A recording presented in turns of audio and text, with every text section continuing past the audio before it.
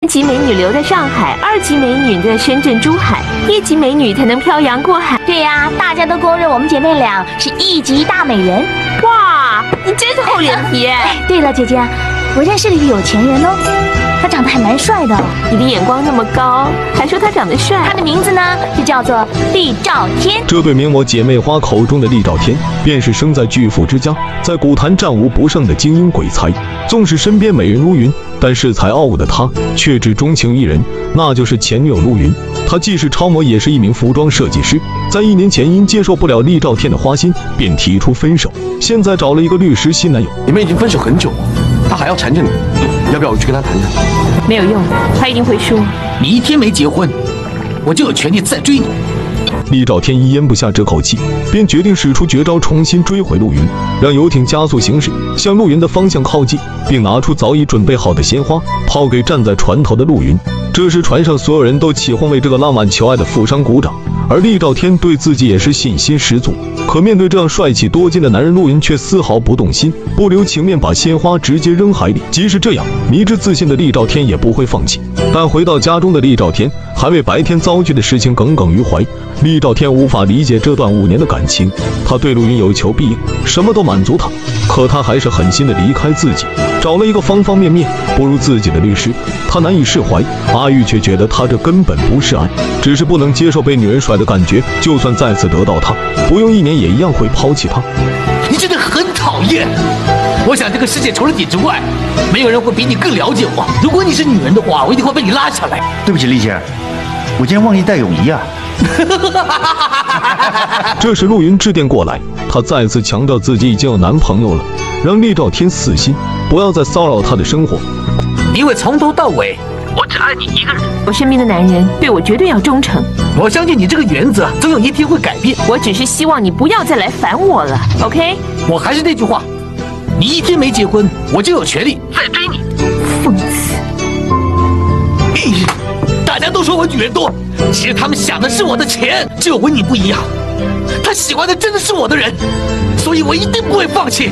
以厉兆天的身份去哪都会成为焦点，连看一场服装秀都会被成群的记者围堵。哎，到底我为什么要来看服装表演呢？问你是老板，这家公司是我的吗？我不记得啊。有件事啊，我记得就行了，你不需要记得。阿玉提前透露说，这场服装秀还有看点，而这些对于眼光极高的厉兆天来说，却觉得俗不可耐，根本入不了他的法眼。直到一个顶着一头羊毛卷的高挑女生的出现，让人眼前一亮。厉兆天并不知道，她就是心上人陆云的妹妹，还去后台祝贺她精彩的表演，并邀请他们去家中做客。阿玉还特意把她的位置安排在厉兆天旁边，两人闲聊时，他才知道她的身份。你姓什么？我姓陆，有个 model 叫 Winnie，你认识她吗？维尼陆，陆云，她是我姐姐你。是 Winnie 的妹妹啊。阿雪回去后，把认识厉兆天的事情告诉了姐姐陆云，并表现出很有好感。其实厉兆天是我以前的男朋友，我跟他分手快一年了。陆云担心妹妹会受伤，便主动约厉兆天出来，让他离陆雪远一点。当陆云起身离开时，厉兆天一把拉住他，我真的很想你。可对他早已心灰意冷的陆云，直接头也不回扬长而去。我想要一栋房子，那还不简单吗？我喜欢玩 golf。怎么玩啊？阿玉，是，一个球二十万，我看你能玩几个？这个贪婪的女人自食其果住进了医院，而厉兆天也被请去协助调查。面对阿 Sir 的询问，厉兆天也是面不改色。对他根本没兴趣，他硬要缠着我，所以我就整整他嘛。怎么个整法？也没什么，我看他嘴巴这么大，想看他能塞几个球。一个球二十万，他居然一下塞了四个，谁知道他贪心，还想多塞一个，就把喉咙堵住，不能呼吸了。阿 Sir 告诫他以后不要这样。那个女人差点嗝屁。之所以会有这件事情发生，只因为厉兆天跟富商马少南的一场赛马比赛，五百个 W 的输赢对于他们来说就是洒洒水，他们更在乎的是男人的面子。两个旗鼓相当的对手见面分外眼红，可明显厉兆天的气场占据上风，连马少南身边的女伴都难以掩饰自己的好感。Hello，哎，哦，我来介绍，这位就是香港本人的女主角陆小花小姐。她是明星啊！尽管马寿南这次花重金聘请的是英国骑士厉兆天的雄霸天下，显然比不过，但他私下充了二百个 W，暗地收买马寿南的英国骑士。开赛的时候，雄霸天下反转成为大热门，冤家路窄。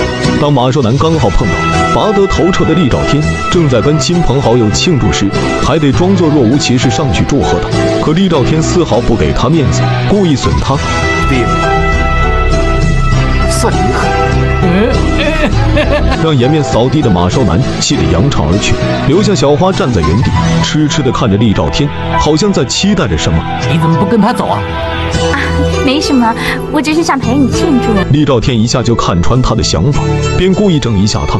谁知小花过于贪心，超过自己的承受范围，被紧急送到医院抢救。很快，这个消息传到狗仔的耳里，都闻讯赶来。马寿南也得知此事后，便带上杂志编辑赶往医院。他花三百个 W 让小花夸大事实，想借机利用媒体的影响力，让厉兆天身败名裂。次日，马寿南就带着小弟故意去找厉兆天，等着看他的笑话。大家已经习惯他们两人的见面开场白就是互抄。嗨，Steven，南哥，加上我看报纸，原来我们光明报的总编辑把那件事写得这么严重。其实也没什么严重的。阿玉啊，阿玉从柜里拿出新鲜出炉的报纸，本以为昨晚的事会成为头版头条，谁料厉兆天已买通报社主编，在报纸上不起眼的小角落报道了这件事，而且内容与他想的天差地别。让我教教你们南哥，只要出的价钱比你高，总编辑就知道该怎么写了。很好，很好，厉兆天。你玩的开心，马少南再次被厉兆天气得怀疑人生，而旁边的主编看戏上头，看马少南的笑话，笑得比厉兆天还大声。厉兆天生平就痛恨吃里扒外的，他借机把以为自己从此飞黄腾达的主编狠狠地收拾一番，并呵斥他从此上班要从早做到晚才能下班。而风光无限的厉兆天却不知道，接下来会有一次重大危机在等着他。你能想象这个把直升机当交通工具，住着海景别墅，吃着山珍海味，坐拥千亿身家的香港富豪厉兆天，看似含着金钥匙出生，家庭幸福美满，可背后却隐藏着一个有关他身世的惊天秘密，而这个秘密竟与眼前这个朴实无华的中年女人有关。当厉兆天看到她时，就没什么好感。吃饭的时候，一桌子的亲朋好友，厉兆天却觉得眼前这个陌生女人看自己的眼神让他浑身不舒服。妈。那个明小姐怎么跟我们坐在一起啊？明小姐是妈妈的好姐妹，小时候她照顾过你啊。她整个晚上盯着我看，是不是对我有意思啊？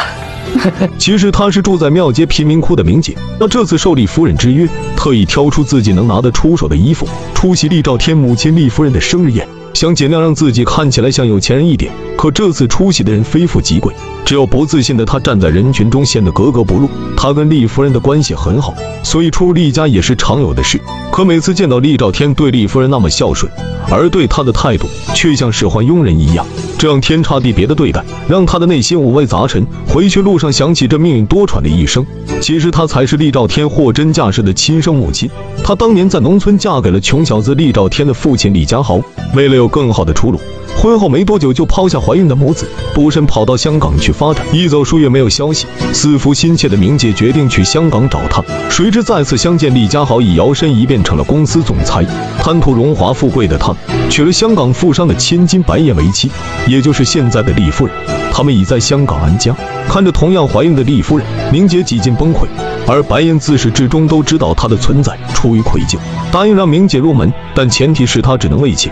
为了肚里的孩子有个着落，明姐无奈答应。无巧不成书，数月后，两个女人同时生产，可白燕之子因缺氧夭折，而明姐却顺利诞下一个大胖小子，就是现在的厉兆天。一心想飞黄腾达的厉家豪，为了能继承岳父的家族生意，便抢走了明姐所生的儿子。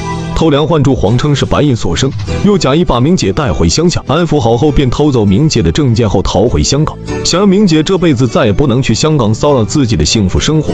可这一顿渣男输出，却让单纯的明姐再次有了身孕，生下次子并随自己姓，取名明志杰。多年后，等这个被夺走大儿子的女人再次回到香港时，厉家豪已因遭遇空难逝世。你希望赵天可以到美国读书，像王子一样的骑马，还是跟你去庙街做生意，骑脚踏车？送货，自己决定。经再三考虑，为了厉兆天的发展，又为了能时常见到儿子，明姐决定留在香港混迹鱼龙混杂的庙街，并把儿子厉兆天留在白燕身边带大。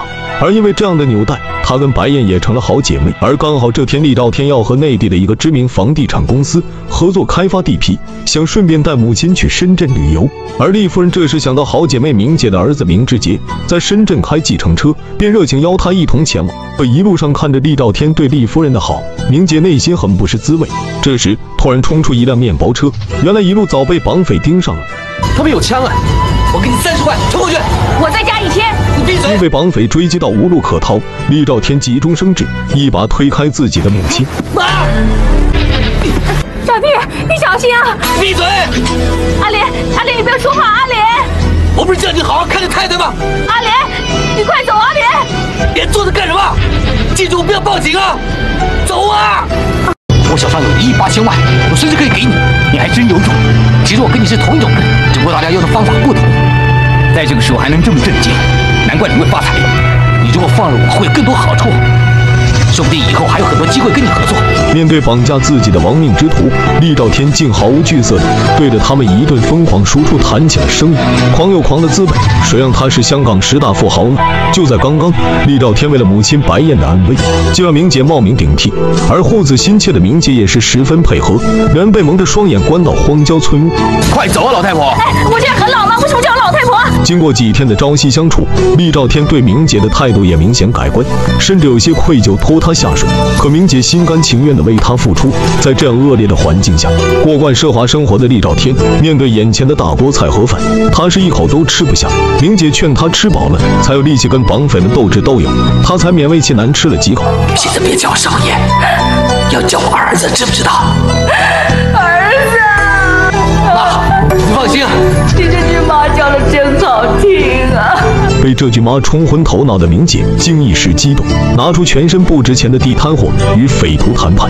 大哥，拿这个戒指值七十万，我的手镯值一百万，加上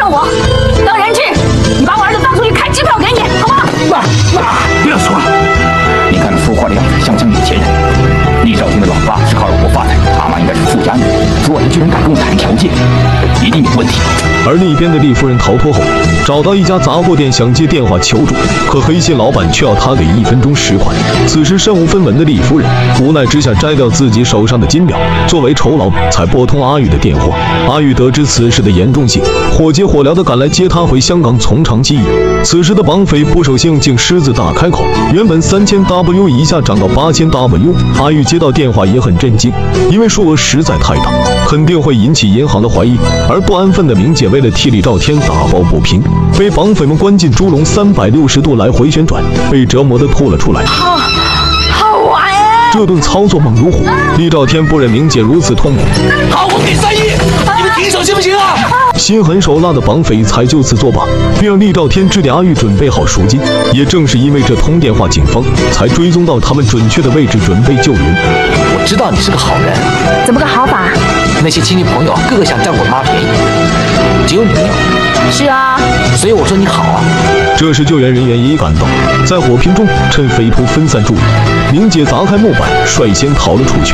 而厉兆天没那么幸运，被匪首当场抓住，并拿他做人质。很快，厉兆天被绑架的事也上了香港报纸头条。这时，阿玉打电话给他，希望在厉兆天危难之时，他能出面一起给他精神上的鼓励。陆云二话没说，便赶往深圳与阿玉会合。而在路边等待的明志杰初见陆云，就被他深深的吸引。待他们与明姐会合后，他们查到绑匪的们藏身于洗浴中心，便与明姐兵分两路，假扮成员工前去救人。在警方还有明姐的邻居等人的配合下，他们顺利救出了厉兆天。当厉兆天被抬出来时，看到心爱的陆云，又惊又喜。身受重伤的他竟忘了疼痛。此时明姐也身负重伤被抬了出来，她首先关心的是厉兆天的安危。厉兆天深受感动，便主动伸手过去拉住他，说自己没事，让他放心，并感激他救了自己。阿杰也因为救了厉兆天，在大富豪的帮助下，终于顺利拿到通行证，终于结束了开出租车的职业生涯。一想到可以去繁华的香港了，高兴得合不拢嘴。算命的说我命很硬，就算核子弹也炸不死我。这次我能够平安无事，表示他说的是真的。南哥生意做得这么大，小心树大招风啊！我怕下一个就轮到你。注意看，千亿富豪厉兆天被绑架的新闻迅速占据各大报纸头条。马少南也不安好心的来医院探望正在疗养的厉兆天，他怎么都没料到，厉兆天早有准备，提前找来一大批记者采访自己，想借机宣传一下自己的光辉形象。这次除了保住自己的命之外，也没损失三亿的赎款，所以我决定了，以后除了要好好珍惜自己健康之外，我还要将这三亿贡献给社会。厉兆天宣称，他会将其中一亿五千万帮助失业超过半年的人，剩下的一半他会帮助未来的主人翁成立一个历史教育基金。这代表我厉兆天很有诚意，要跟贫苦大众共度难关。记住，明天会更好。这一顿骚操作，连毛少南都被他带进节奏，不禁鼓掌。反应过来后，再次被气得当场黑脸走人，还跟手下抱怨厉兆天的城府深不可测。而回到病房的阿玉一直在叹息，他不懂厉兆天的用意。你爱什么？有话就说，我替你心疼啊！三亿呀，不是三块呀！我今天送出三亿，我一定有办法赚三十亿回来，傻瓜！不得不佩服厉兆天的商机嗅觉敏锐。他宣布这件事情才短短几个小时，全世界上网的人都在讨论这件事情。阿玉却回对他那是因为大家都在讨论，哪个傻瓜嫌钱多？老实告诉你，这招叫反败为胜，化危机为转机。以后不管我跟谁做生意，有谁敢不给我面子？话音刚落，厉兆天就接到另一个商界声名显赫的大佬董先生的电话，因为他捐款的事情慕名而来，主动找他合作生意。哪个董先生找你啊？香港有哪个姓董的我会跟他说话这么客气？你用用脑子吧。所以俗话说的对呀，有钱能使鬼推磨，有钱就是老大。厉兆天前一秒还在为自己的成绩而骄傲，下一秒又想到再多的钱都买不到陆云的心，又感到很失落。厉兆天因捐款的事情名声大噪，在香港都引起轰动。这时陆雪一回到家中，就问姐姐陆云知不知道厉兆天的事情，可陆云却告诫他，以后在家不能提厉兆天这三个字，并说如果再提就要生气了。可陆雪却依依不饶地缠着他说，厉兆天这次真的很不一样，觉得陆云对他有太大偏见。但是他真的没有你说这么坏吗？对，他是真的很聪明，他用三亿收买了全世界人的心，包括你。我觉得你应该再多给他一次机会。你知不知道啊？有些人你不能给他一次机会的，就算给他半次机会都嫌多啊。你这么有个性，怪不得我会爱你。时间一定可以证明你是错的，为你。挂完电话，厉兆天还信心满满的跟阿玉说：“陆云这次肯打电话来，这场心理战他已经赢了八成，而剩下的两成一成是摆平陆云现在的律师男友，还有他的好妹妹阿雪。”阿玉也觉得很有道理，一个劲点头。两人正在闲聊着，陆云突然来医院看他。这时，陆云拿出带来一瓶厉兆天喜欢喝的酒送给他。最了解我的还是你。出院之后呢，我一定会多抽点时间陪你。陆云却拒他于千里之外，解释自己这次前来只是出于朋友的立场，他并没有想过要回头。我可以保证，我们一定会有一个新的开始。我一定不会再碰其他女人。你凭什么保证啊？我不觉得我有这么大的本事，让你为了我这棵树放弃整座森林。我相信你也知道，这是我们分手的主要原因之一，对不对？首先，我要跟你说对不起，阿姨第一天上班这么狼狈。哦，没关系，反过来我应该要谢谢老板这么关照我才对。哎，不要说关照，一个人有本事不用关照，相反，如果没本事，听我老子我也不理。哦，是，我会努力工作的。你还记得这个在港剧反派能排进前三的明智杰吗？他出身贫寒，靠着在绑架事件中救了千亿富豪厉兆天，终于来到繁华的香港。从小被母亲明姐寄居在乡下长大的他，初来乍到，对一切充满期待。可下车的一刹那，还是露出一丝失望。显然，眼前破破烂烂的景象，跟他想象中的繁华大都市有点差距。这时，小龙叫他赶紧上去。明姐在楼上等他，母子相认的这一幕，让街坊邻居都感动不已。我明志杰今天来到香港，一定要大展拳脚，出人头地。我明志杰以后要开 Benz，不开计程车。以后我明志杰要是能过好日子，绝对不要忘记你们。干杯！来，干杯！而另一边情场失意的厉兆天，在商场却春风得意，正在为四海集团旗下公司重组召开新闻发布会。被记者追问接受对方证券公司倒闭抵押之事是否知情，底气十足的厉兆天对一些犀利的提问也是对答如流。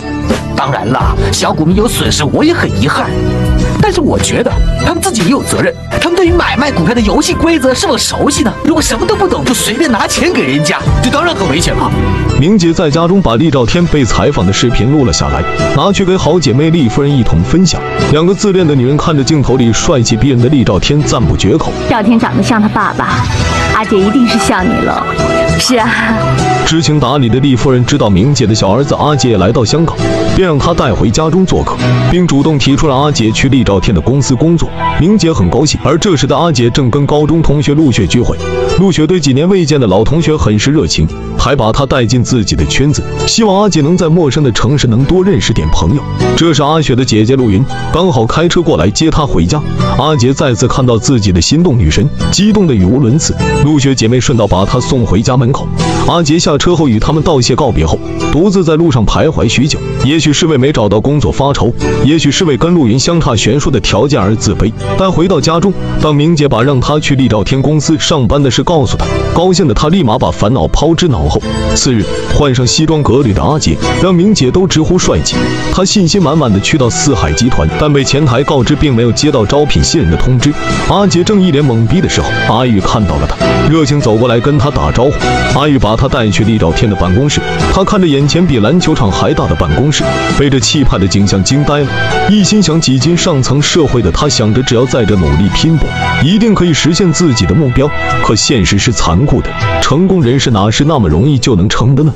厉兆天并没有因为他是救命恩人就给他特殊关照，而且给他安排了一个跟杂工差不多的物资管理主任。明知解决能力被低估，心中很不是滋味。可当他来到自己办公室时，刚好听到同事们围在一起奚落他，嘲笑他是乡巴佬，说难怪他看上去土里土气。麻烦你见挂。坐电梯时，这些同事故意欺负他，不让他上电梯。看着眼前这群原住民歧视外地人的阿杰，虽然很委屈，但想着这份工作来之不易，他不想失去，也只能忍气吞声。现在是一九九九年三月二十七号，我还是个打杂的，什么时候才能像厉兆天这么有钱、这么有权呢？也正是阿杰的这番野心，为他日后的黑化埋下了伏笔。就算你现在有很多男朋友，甚至你已经嫁人了，我可以告诉你，这个世界上除了我厉兆天之外，没有人可以给你真正的幸福。你的口头禅什么时候改了？你以前一向都说你一天没结婚我就有权利追你，现在更狠了，连嫁了你都不放过我。霸道总裁厉兆天追心爱的女人也是一套一套的。上次是游轮，这次居然登报示爱，整个版面都是蓝天白云加一手肉麻的打油诗，抬头是云，落款是永远爱你的天。可陆云却觉得厉兆天此举很无聊也很幼稚，可妹妹阿雪却觉得厉兆天这样做既浪漫又很有新意。厉兆天这个人呢，最会哄女孩子了，被他玩过的女人，你跟我两双手加起来都还不够数呢。可是陆云却觉得越会哄女人的男人越不能信，他就是曾经吃过亏，受过伤害，所以以后他都不会再吃这一套，并告诫妹妹要提防厉兆天，远离他，免得受到伤害。阿雪拿着这首诗看了很久，她陷入沉思，她心中浪漫专情的厉兆天，跟外人眼里花心的厉兆天，究竟哪个才是真正的他呢？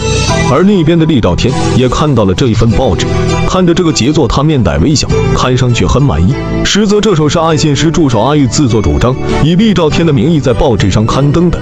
他还以为这样会得到老板的嘉奖，结果厉兆天不但不夸他，还很生气，对他一顿拳打脚踢。以往发泄完他会算进工资里，而这次他说打了也不会给钱。而正是这一份报纸，也引来旁人的嫉妒。陆云的服装店就来了一个不速之客，借以买衣服之名故意刁难陆云，衣服试了一件又一件。陆云忙活了半天招待他，却一件都没看上。打扰你这么久，礼貌上也要挑几件才行啊，要不然的话，Steven 会骂我的。陆云知道他是故意捣乱，也不再忍让，拿出老板的试探，赶他出去，并放言以后店里的衣服不会卖给他，让他不要再来。而这一幕刚好被路过的明志杰看到，这个一穷二白的穷小子，这次来找陆云的目的是为了跟他表白。也许是梁静茹给了他勇气，刚来香港没几天，竟敢跟自己的老板大富豪厉兆天抢女朋友，抢的还不是一般的女人，是超级名模。你信不信缘分？信啊，不也相信有缘无分，除了主观的感觉之外，也要有些客观的条件吧。我知道我现在配不上你，但是请你给我一点时间，我一定可以提升到你的层次，做你那个世界的人。陆云如约而至，来到餐厅与厉兆天共进晚餐。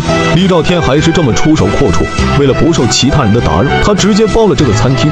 他还跟陆云说，自从上次被绑架后改变了很多，他现在很想组建一个家庭，而陆云就是那个家的女主人。谢谢啊，我无福消受。他还拿出他们交往这五年的所有照片做成一本影集，在每一张合照旁旁都用心的写上一句话，寄托自己的思念。而同样说要给陆云幸福的穷小子明志杰，还在四海集团当杂工小弟。每天做的事情不是灯管坏了要他找人修，印刷纸不够让他采购这样的小事，连搞卫生的阿婆摔坏了两个杯子都来使唤他去买。此时的阿杰还任劳任怨地做着这些杂事，直到有一天，他无意发现资料上印的拆迁计划上赫然写着自己家的地址，于是马上向厉兆天毛遂自荐。我知道公司还有三间房子没有收购到，其中一间房子的业主是我妈，另外两家人我也跟他们熟。那如果厉先生让我去说的话，我相信一定会容易的多了。收购的事呢，已经有人帮我在做了，暂时不需要你帮忙。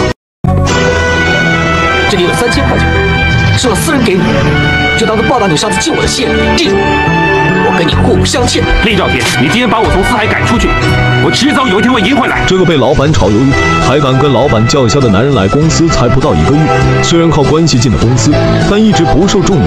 在离职之前，阿杰已经心存不满，而刚好邻居鸡哥的大儿子阿虎是马寿南的得力干将，便将怀才不遇的阿杰引荐给了马寿南，并泄露厉兆天公司机密给他，当场就获得了一笔不菲的报酬。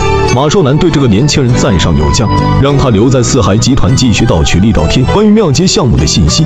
而阿杰拿到这笔钱，首先阿虎陪同他去买了一套几万块的高级西装，焕然一新的阿杰立马信心满满的对陆云再次展开追求，可自不量力的他毫无悬念再次被拒。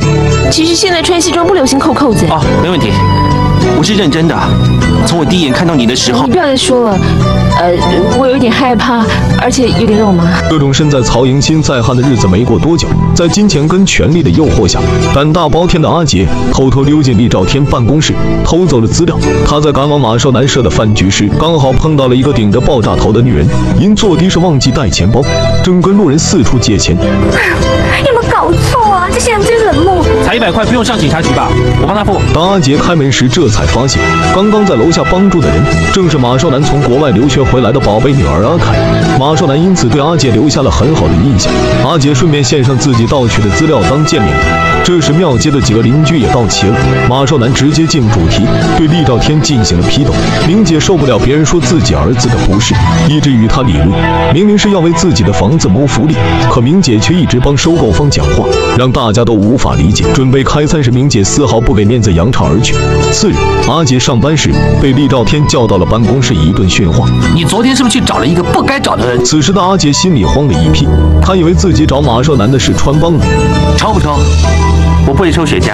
那不就得了吗？你永远比不上我的，你追谁都无所谓，追温妮，勇气可嘉。明志杰此时心里并不服气，但面子跟马少南那边给的好几倍工资的报酬相比一文不值，备受屈辱的他不得不向利益低头，继续当墙头草。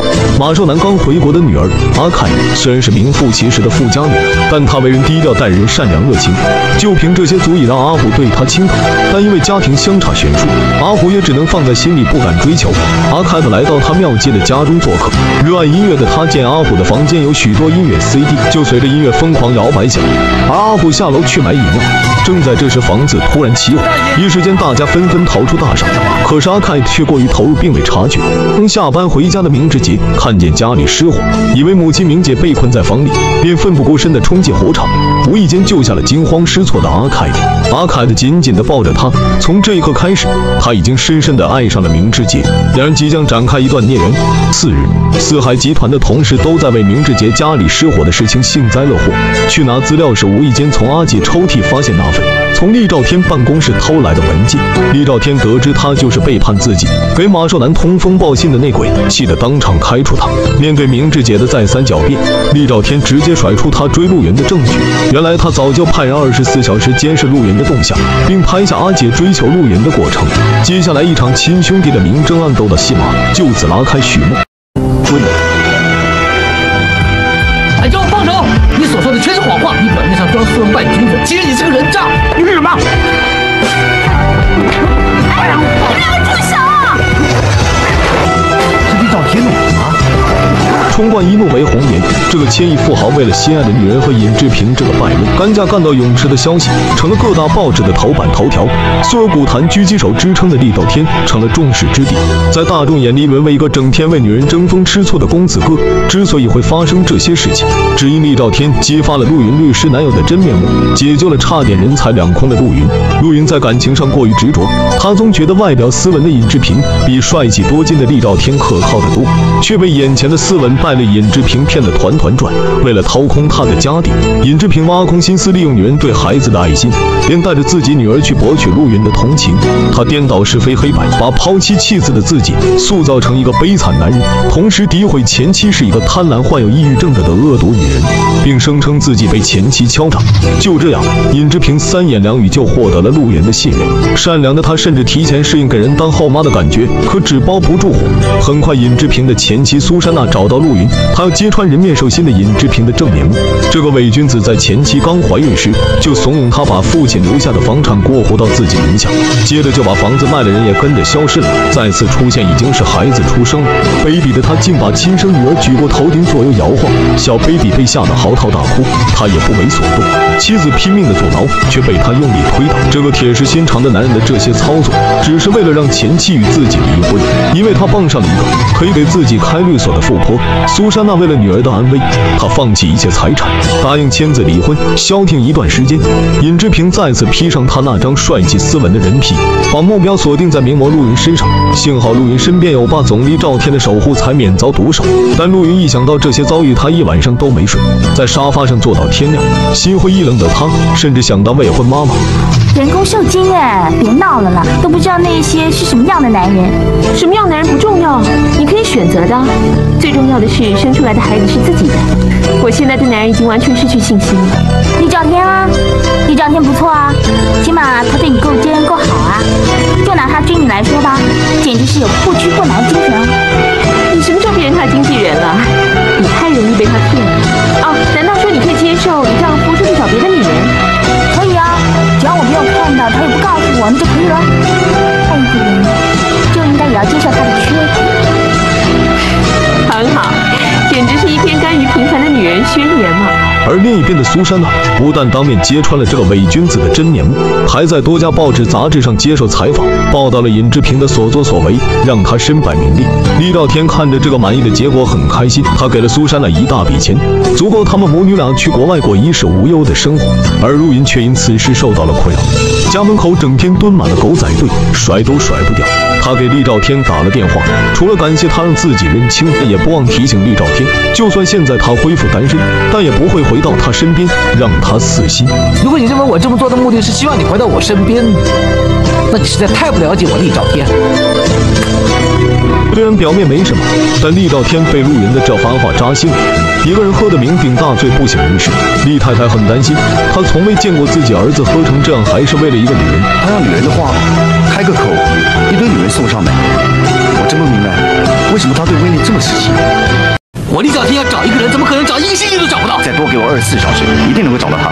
二十四小时可以买下东京、伦敦、纽约三个股市了，就算亿万富翁也可以变成乞丐了。痴情的厉兆天并没有气馁，第二天继续约陆云在他们常去的餐厅吃饭。这次他还准备了求婚戒指。可陆云自从这些事情后，他不但不领情，反而对厉兆天越发的冷漠与抗拒。陆雪却很羡慕厉兆天为姐姐做了这么多疯狂的事，这是他向往的轰轰烈烈的爱情。陆云不相信厉兆天会一直在餐厅等，以为等一个小时就会走的。可是他低估了这个男人的毅力。干嘛？你想去看看他还在不在啊？我才不像你这么铁石心肠。如果有个男人肯这么对我，让我丢掉一点点的自尊，又有什么关系呢？陆云怎么都没想到，厉兆天会等他等到餐厅打烊为止。正准备起身离开，却等来了他的妹妹阿雪。你果然还在这里哦。你怎么会到这儿来？我姐姐不相信你会在这里等她。他信不信无所谓，反正我在这等。我知道，所以我才会来。你们两姐妹还真像啊，同样这么固执，这么好胜。那你是不是喜欢这种类型的女人呢？你是个美女，说话含蓄一点比较好。我还没吃饭，你陪我吃饭。当然好，上菜。饭后，他再次来到了陆云家楼下。我想见你，我现在在你们家楼下，你下来，我有话跟你说。我没话跟你说，我不想见你。你要是不下来，我就不走，随便你。等了整整一个晚上，这个不眠夜，三个人都各怀心事。次日一大早，陆云驾车去上班，熬了一晚的厉兆天想追上去，却被陆云一脚油门冲了过去。回到店中的陆雪一直在担心外面淋雨的厉兆天。怎么还在替他担心啊？你也想到他会在外面淋雨了？这种天气还站在那里淋雨，是他自己傻。喜欢一个人就是这么的傻，尤其是喜欢你。而陆云看似忙着工作，可做事谨小慎微的他，竟把客户的衣服送错了。只是口是心非的他不肯承认罢了。真的会在那边等你。那天晚上他在餐厅里整整等了你一个晚上，直到餐厅打烊他才走。为什么你不相信他呢？就算他真的是在等我，那又怎么样？他不一定是真心的，他只不过是忍受不了一个女人离开他，跟别的男人在一起罢了。就好像小朋友抢玩具一样，宁愿破坏他，也不愿意借给别人玩。你懂不懂？为什么不肯再多给他一次机会？我给过他机会，是他自己不珍惜。当陆云下班回去的时候，发现厉兆天冒着大雨在原地等他。你走吧，不要浪费时间了。我不觉得这是在浪费时间。我还是那句老话，我不会再回头了。你要我怎么样才肯相信我？你不要再说了，我跟其他女人不一样。那些女人只要一份礼物或是一句话就可以死心塌地，但是我不是。我是有过很多女人，但是最后我会回到谁的身边，我自己最清楚。你跟其他女人不一样。我觉得我跟其他女人一样，到最后还是离开你。如果你硬要拿自己跟别的女人比较，我没话可说。但是我要告诉你，我真的不是想玩一玩，我是认真的。看着眼前这个痴情男人的背影，陆云不但没有心软，反而让他有了想离开这里的念头。而他也没料到，接下来这个男人会发了疯一样满世界找他。有其姐必有其妹，两个姐妹真是各有千秋。温妮那一型呢，是属于成熟妩媚；露西这一型呢，是属于青春貌美。距离陆云失踪已经超过四十八小时了，可身家千亿的大富豪厉兆天花重金，请了两组私家侦探都没有找到他的下落，便只好请陆云的妹妹阿雪吃饭，希望在他这里能找到一些线索。而这时刚好碰到阿雪的模特同事陈丽，她一直喜欢围绕在富豪身边捞好处，对厉兆天早已虎视眈眈。她误以为厉兆天在追求陆雪，心里羡慕嫉妒恨，第二天便迫不及待冒充陆云打电话给厉兆天，而好巧不巧刚好碰到厉兆天找陆云找的心烦意乱，阿玉便提出让厉兆天整一下不识相的他。你很喜欢被人家玩吗？你真爱开玩笑。想玩什么？你说啊，看看我能不能做到。你真的什么都肯玩？是啊，为了能捞到好处的陈丽，什么都能豁出去。起来，追了他。莫名其妙。这时阿玉进来告诉厉兆天，已经找到陆云了。把他轰出去！我以后不想再见到他。面对陈丽的纠缠，阿玉便给了他一张名片，让他可以去四海集团旗下七家珠宝店任意挑选一件首饰，这才打发了这个贪心的女人。那就这个吧，标价三十八万，打个八折不就三十万了？帮我包起来，顺便呢帮我记在厉兆天的账上。知道，陈小姐跟。他唱了一个晚上的卡拉 OK 而已，他就送给我三十万的首饰。你跟他关系这么密切，没有两百万，至少也有一百万啊，对不对？阿雪为此事很生气，便找到厉兆天质问他。到底是不是真的呢？我干嘛要解释呢？你要相信就相信，不相信我说什么也是多余的。有时候我真是不明白你到底在想些什么。我不需要人家明白我在想什么。我这么有钱，我爱怎么样就怎么样。我不在乎，我只在乎你姐姐对我的看法。就是这样一个嚣张跋扈的男人，不仅在感情上自信满满，在事业上更是霸气十足。面对因窃取机密文件被他炒了鱿鱼的明志杰，尽管现在成为马少男的左膀右臂，但厉兆天根本没把他放在眼里。两人竞标同一块地都志在必得，而马少南还给明志杰一个锦囊妙计，让他对付厉兆天要用激将法，将地价抬高，上限是九亿八千万，超过可以放弃，但一定要逼对手高价拍了那块地。不管今天四海集团出多少钱都好，我们金马国际都要比他们多出三千万。三千万，面对明志杰的公然挑战，厉兆天也很沉得住气。我只在投标，一什么战呐？地皮的真正市价，不只反映了香港的经济，它还涉及了市民本身的利益。如果随便盲目出价，最后只会把成本转嫁到消费者的身上，那样对我们的投资者跟一般市民都没什么好处啊！啊谢谢你，丽仙。双方回答问题的格局立分高下。八亿八千万，八亿八千万一次，八亿八千万两次，九亿一千万，九亿一千万，这已经接近上限了。十亿，哇，已经到了上限了，不要再喊价了。二十亿，我出二十亿港币。最终两人都没拍到这块地，被这个神秘女子截胡了。一姐，不想下次投标还会不会再见到你？下次我一定会来，不过不知道南哥还会不会相信你。你要记住，你跟我不一样，你只是个职员，我永远都是老板。离这很远，我看你能找多久。你终于要结婚了，我也想不到能名正言顺当你姐夫啊。如果我告诉你，我有点嫉妒，有点不服气，还不死心，你会怎么样？到时候我跟你姐姐的孩子出生之后，如果生的是儿子，我想你一定会变心的。如果是这样，我一定会等。我这个人跟姐姐一样，都很执着，而且还更加有耐性。冤家路窄的两个死对头，在一场慈善宴再次相遇，两人还被迫合影，化身假笑男孩。正在这时，一个人的身影吸引了所有人的目光。失踪多日的超模陆云终于现身，可还是被明志杰捷足先登，优先邀请陆云跳舞。此时除了厉兆天，还有一个人醋意大发，他就是马少南的女儿阿凯。他现在已经跟明志杰在交往了。看着满眼都是陆云的明志杰，他愤怒地走过去，终止了这场暧昧的舞曲。厉兆天终于找到与陆云说话的机会，他想送陆云回去，可陆云为了气他，竟主动提出让明志杰送他回去。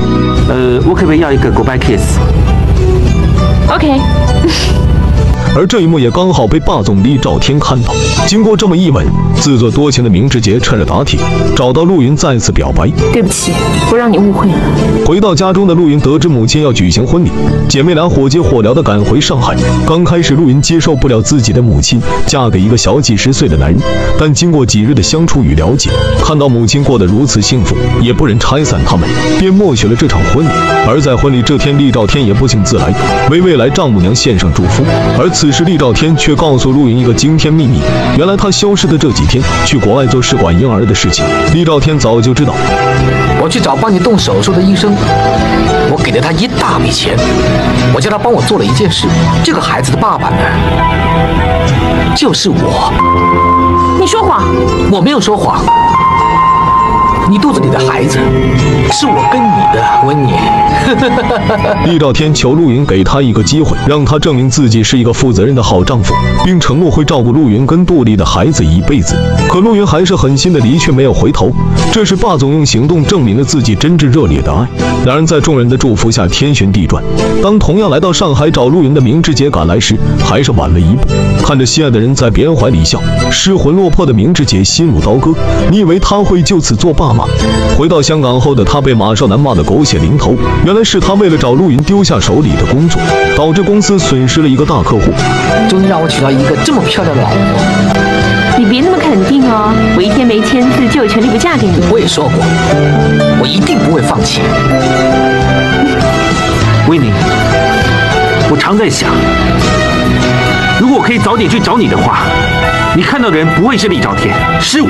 结果也一样，因为你不是李兆天，我跟他曾经分手，现在又在一起，都是经过深思熟虑的。现在我知道，原来肚子里的孩子也是他的。我想这样你应该输得心服口服了。从头到尾，我还是只爱 Steven 一个人，就算你先出现，也一样。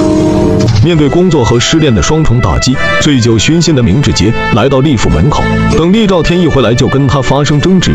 陆云不应该跟你这种小人在一起，应该跟我在一起。我后悔在山内救你一命。我你会喜欢你这种穷鬼吗？啊！少爷，不要再说了。你说啊说什么？我说的是事实。站住！阿杰，你不要死！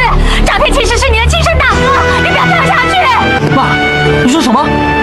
你说我是他大哥？是啊，他真的是你的亲弟弟。他会是我大哥？是啊，你们真的是亲兄弟，为什么你们要搞成这样呢？兄弟俩为了一个女人闹到水火不容，明志杰失去了理智。此时他并不知道自己的身世，怒火攻心的他只想一枪击毙厉兆天。在明姐跟厉夫人的劝阻下，才没有酿成悲剧。但惊吓过度的厉夫人晕了过去。厉兆天原本想报警，让明志杰把牢底坐穿，可是知道两人是亲兄弟的厉夫人拼命的央求儿子放过他。孝顺的厉兆天为了母亲的身体，他只好作罢。可是就在他和陆云拍婚纱照的这天，厉兆天却再一次被一伙人围堵。强行绑架，而这伙人正是上次绑架他的那几个亡命徒。面对歹徒的敲诈，厉兆天突然起了一个念头：我们谈笔交易，我先付你一亿，事成之后，我再多加三亿，帮忙解决一个人。你的眼睛弄成这样，难道你忘了是谁害的吗？您说阿杰，阿杰不会做这种事情，不会的。正当大家都替厉兆天的安危担心之时，厉兆天竟能毫发无损的回来，并让陆云放心，改天再补拍婚纱照。很快就到了两人举行婚礼的日子，陆家嫁女儿，陆妈妈也特意从上海赶来为大女儿操持婚礼一切事务，亲自贴喜联，还找来陆云的姑姑，为他用老家的习俗梳头弄发髻。看着自己的大女儿能找到属于自己的幸福。陆妈妈也一脸的欣慰，并说如果她的妹妹阿雪也能嫁人，她就能真真正正的放心了。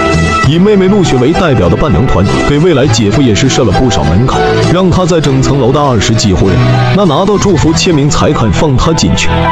哎，搞定了，快点开门吧。这里一共有八层楼，妈晚吧。厉兆天在丈母娘的帮助下顺利闯关，见到如此美丽动人的陆云，在众人的起哄中吻了一下她，沉浸在甜蜜中。随后他们来到教堂，在所有人的祝福下，美丽的新娘款款走来，明眸优雅的风姿惊艳众人。厉兆天深情地看着他心爱的女人宣誓，这对郎才女貌的有情人终成眷属。可刚交换完戒指，准备亲吻时，执迷不悟的明志杰却赶来大闹婚礼现场。你给你自己一次机会，你不可以这样对我，你以前不是这样对在婚宴时，厉兆天给那帮匪徒去了一个电话，质问他们明志杰为什么还活着，并让他们收了钱就要把他交代的事情办好。而明志杰也因去大闹婚礼，与死神擦肩而过，逃过一劫。因为绑匪们来到他家里扑空，便布置了一场瓦斯爆炸的陷阱。等明志杰回到家时，命运之神再次眷顾了他，刚想开门，却转身有了轻生的想法，走上顶楼的天台，然后给心爱的陆云打电话。而这时，厉兆天跟厉夫人也闻讯赶来，不甘心失去陆云的明志杰，以此要挟让陆云回到自己身边。眼见阿姐真的要跳下去，李夫人情急之下说出了他们是亲兄弟的真相，并告诉他们明姐才是他们的亲生母亲。老天对我真是太不公平了，他一出生就什么都有，他天生就是有钱，我天生就是穷鬼。如我们是同一个妈生的，为什么命不好的人是我？为什么？势不两立的明志杰和厉兆天都无法接受是亲兄弟的事实，明志杰更是接受不了命运的不公。失去理智的他正想纵身一跃，却被身后的一群人紧紧的拉住。明姐更是爬上护栏，紧紧的抱住。厉兆天担心他们的安危，也爬上去想让明姐放手。这时丧心病狂的明志杰突然转身抱着厉兆天，想同归于尽，一起跳了下去。从高楼坠下的兄弟俩，所幸的是掉在早已准备好的气垫上，两人都捡回一条命，也只是受了一点轻伤。孝顺的厉兆天醒来的第一件事就是去看母亲厉夫人。厉夫人苦口婆心的劝说，厉兆天依然不能接受阿杰是自己亲兄弟的事实。而陆云为此事因自己而起倍感愧疚，想为明志杰做点事情弥补一下，于是主动开车送明姐回去拿阿杰的换洗衣物。命就是如此的捉弄人，原本是明姐上去的，但善解人意的陆云。考虑明姐在医院忙活一天一定很累，便提出上楼帮明志杰取东西，让明姐在车上休息一下。可刚一进门，明姐想提醒他记得拿热水壶，结果电话一响，陆云被布置好的瓦斯漏气，当场炸得粉身碎骨。而在医院疯狂找陆云，拨打他电话的厉兆天还不知道此事，当阿玉告诉他时，他都不愿相信，直到看到刚从停尸间出来的陆雪。姐夫。厉兆天冲进去，看到面目全非躺在冰柜里心爱的陆云时，全身冰冷，悲痛欲绝，搀扶着缓缓走出来时，才反应过来，瞬间崩溃。这只戒指是他们在姐姐身上找到的。完整的东西。看着陆云留下的婚戒，厉兆天更是泣不成声。这时明志杰也接到噩耗，赶来想见陆云一面，却被厉兆天揍了一顿。厉兆天歇斯底里斥责都是明志杰害死了自己的爱妻，而这时绑匪的一通电话，却让他仿佛坠入冰窖般浑身颤抖。原来他一生最爱的女人，竟阴差阳错的被自己害死。随后几天，厉兆天把自己反锁在房里，过着暗无天日的生活，瘫在婚床上看着两人甜蜜的婚照，往事一幕幕涌上心。头，他沉浸在失去挚爱的悲痛中无法自拔。哪怕阿玉告诉他，现在四海集团危机四伏，有人开始大肆收购四海的股份，他也不闻不问。四海集团召开股东大会，厉兆天也拒不出席，股价一路狂泻，一波未平一波又起。很快，厉兆天私自动用公司资金投入基金的事被证监会查到，并传召问话。刚从证监会出来，就被马少南早已安排的大批记者围堵采访。就算我真的掉了井里。我终究还是全香港十大商家之一，还是一间上市公司的董事长。你，你什么身份？说好听点，你不过是马少南身边的左右手；说难听点，你只是马少南身边的一只狗。你说什么？我说的是事实。就算我再倒霉，我照样骑在你头上。而一直在医院住院的厉夫人，对家里发生的事情一无所知，怕他身体扛不住，善意的骗他厉兆天带着陆云去国外度蜜月了，没那么快回来看他。可时间长了，只始终包不住火。厉夫人无意间从电视上得知儿子公司出事晕了过去，这次被医生告知他的癌细胞已经扩散，明姐跟阿玉还想继续隐瞒他，可厉夫人却一直追问他们陆云为什么不来看自己。他已经死了，妈，他死了。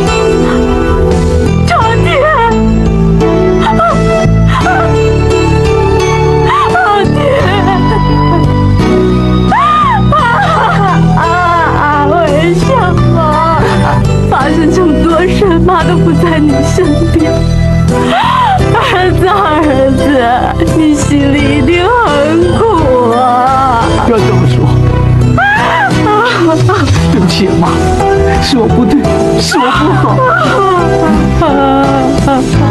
为什么？为你。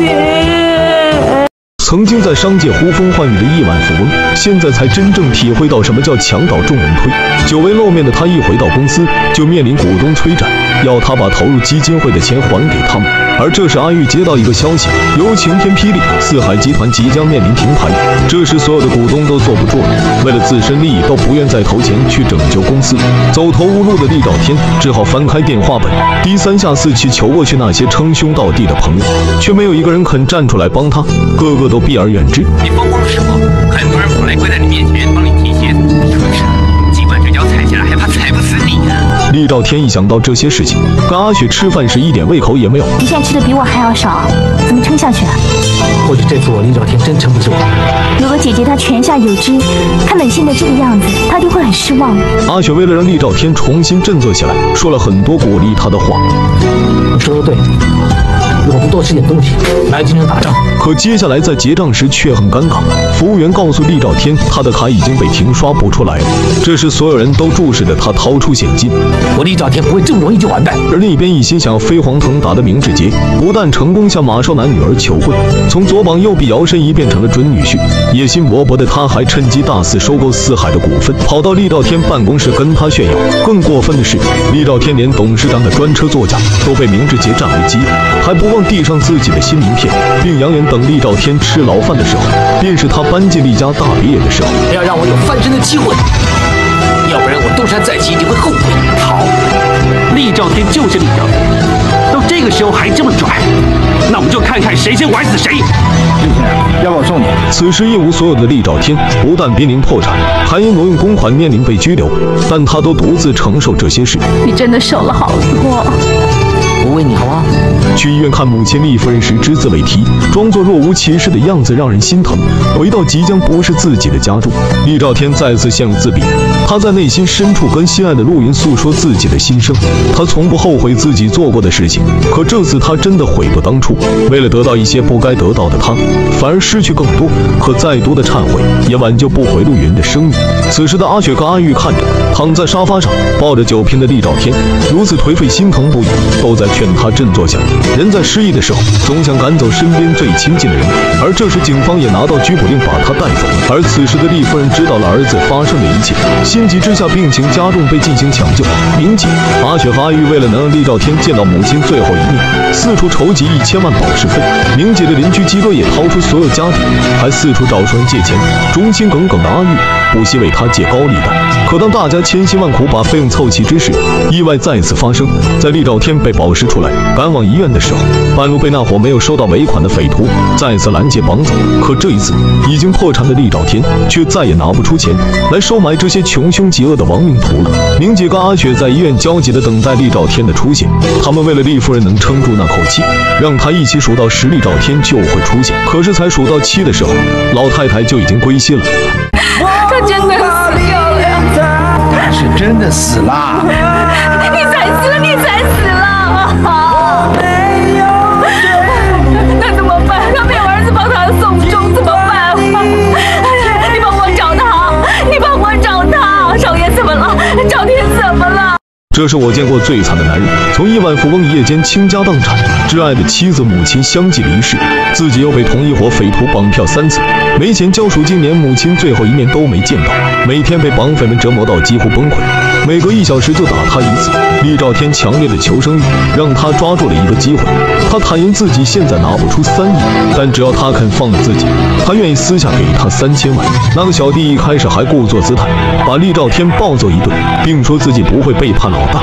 可经过仔细盘算，知道老大分给他的钱才不到三千万的零头，转身又回来偷偷带走了厉兆天。机警的厉兆天抓住机会偷袭他，历经千辛万苦逃出来的他，躲在臭气熏天的猪圈，已经饿得前胸贴后背的他，为了有力气逃命，强忍着恶心，饥不择食的他捧起猪食拼命往嘴里塞。曾经叱咤风云的香港十大富豪，为了活下来却沦落至此。他一路颠沛流离逃到火车站，可因没钱买票，只能逃票。不会那么巧吧？查票！再让我抓到，先打你一顿，再送你去公安局！你以为我想坐霸王车啊？有钱我不会去买车票。你信不信给我把整个车站都买下来？为了能买一张回家的车票，厉兆天不得已跟随一个好心的民工来到山上做苦工。从小含着金钥匙出生的富家少爷，哪干得了这种粗活？十指未沾阳春水的他，双手很快就被磨得全是血泡。为了能见到母亲李夫人，他只能硬着头皮坚持下去。喂喂，做事没做那么多，你吃饭就吃那么多，吃饭时有几个小混混见他浑身是伤，知道他好欺负，便抢走了他手中才吃了几口的饭。虎落平阳被犬欺，还好那个好心的的工友愿意把自己的饭分他一半。次日，那群混混得寸进尺，直接往厉兆天的饭碗里扔沙石。累了一天的厉兆天委屈的哭了出来。好不容易熬到发工资的那天，所有人都排队领钱。领到钱就走了，你在那边干什么？前面的快点啊！你做三天就有三十块钱，很好了。你在工作等我一下，我去上个厕所啊！哎，那你快点啊！可等他出来时，车早已开走，任凭他怎么追喊都无事于补，就是不停。等等我啊！现在就连天都要欺负他。此时下起了倾盆大雨，厉兆天把所有不幸的遭遇都发泄出来，顽强的毅力终究支撑不了太久，很快他便晕倒在路边，被村民石哥救下带回家中。这对淳朴的农村夫妇让厉兆天调养好身体再回去。看着这充满烟火气的一大家子，厉兆天也放松起来。饿坏了的他看着一桌子家常菜，大口吃了起来。下一秒意识到自己这样有些失礼，便不好意思停了下来。不好意思，关系，别客气啊，不用客气。难得你喜欢吃，来来来来，再吃个咸蛋吧。对对，来就行了，谢谢。他在陌生城市第一次感受到人间的温暖，但他急着赶回去看丽夫人。一大早，成哥一家送厉兆天到村口，依依不舍的道别。快到时间了，成哥便骑车送他去火车站。这次我能捡回一条命，全靠你们，我这一辈子都不会忘记。这是厉兆天长这么大第一次感受到什么是人情味。我从来没有这么衷心的去感谢一个人。又是你想坐霸王车啊？你不要以为过了几天我就不认得你了，你给我下车！肥婆，我也认得你，你看看就好，千万别弄皱了。我很辛苦赚钱才买来的，有票早说嘛！回去后我要相框把它裱起来。我连你身边那只狗都抢过来了，你不不不，不过我告诉你，你要讨饭也不要到我的家门口，因为我一毛钱都不会施舍给你。这个从乡下来香港打工的明志杰，摇身一变成了四海集团的董事长。那些曾经讥讽嘲笑过他的同事，做梦都没想到，这个不起眼的穷小伙会成为自己的新老板。这群势利眼都闻风丧胆，排成长队迎接他的到来，可谓一朝天子一朝臣。大家都提心吊胆，担心这个被他们歧视过的乡巴佬会报复他们。不过你们不用怕，除了你们的老板变了之外，其他一切照旧。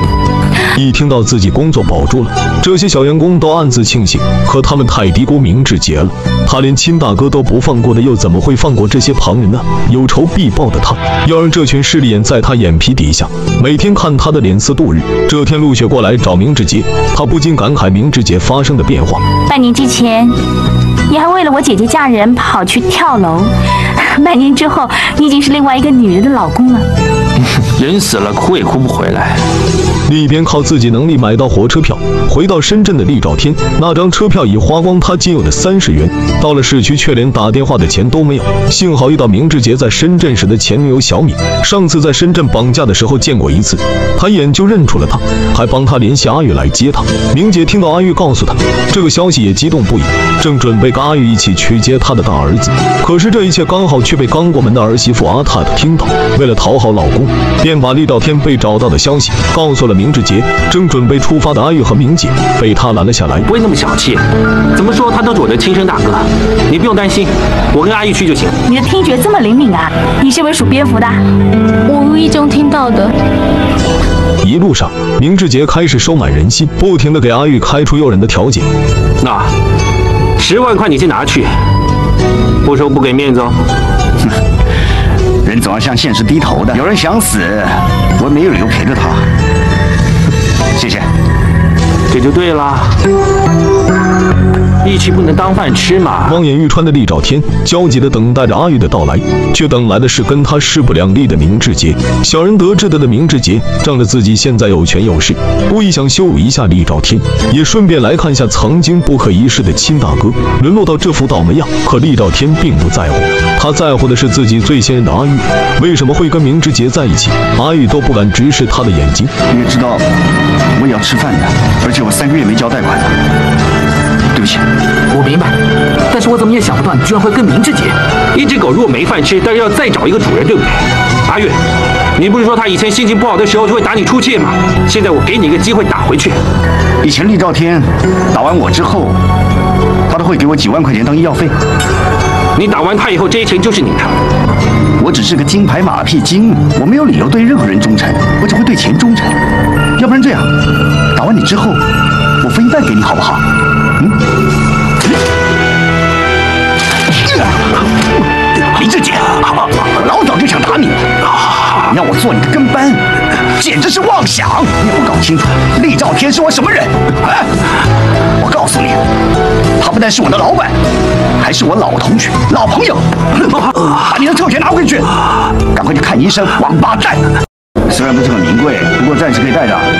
这只表还不算贵啊，我不能戴这种名贵的表啊！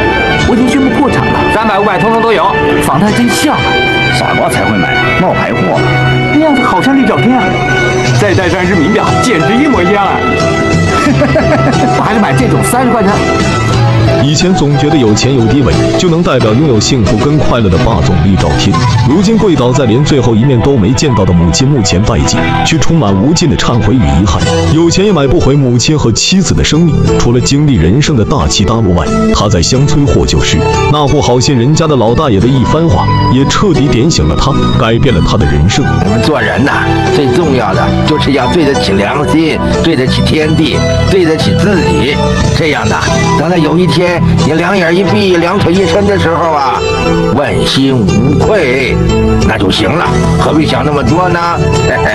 同父同母的亲兄弟，如今身份却来了个大转换。曾经呼风唤雨住着海景别墅的大富豪厉兆天，现在却拖着行李箱搬进了明志杰曾跟明杰住过的庙街贫民窟的老房子。邻居几个小玲都很热情地帮他搬东西、整理房间。明姐对这个没有相认的儿子很上心，不仅给劫后余生的他红包，祝他以后都能顺顺。利利怕他记不住家里的电话，便在冰箱上贴上了号码，甚至还为他买好了生活用品。他所做的一切，厉兆天也都看在眼里。你干嘛买这么贵的？现在跟以前不一样，能用就行了。多少钱？等我找到工作赚钱再还你。不用，是金枝玉叶。这时，一直默默喜欢厉兆天的陆雪也从外地赶回来看他。你们去祭拜姐姐？要，我一有时间就去。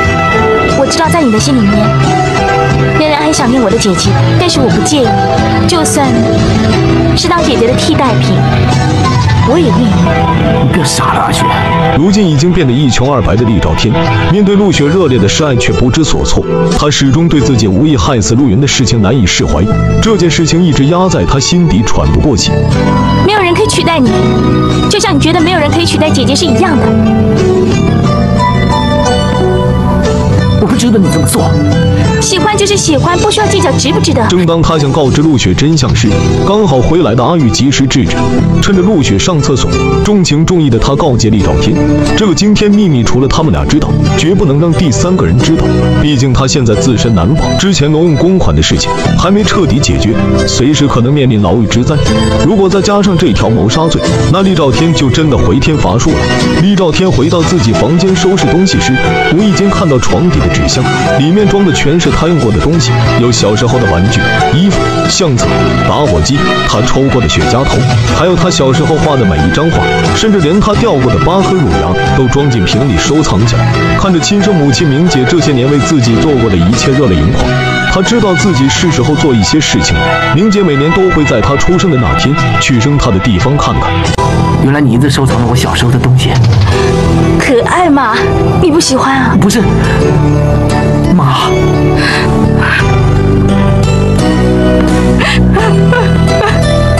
对不起，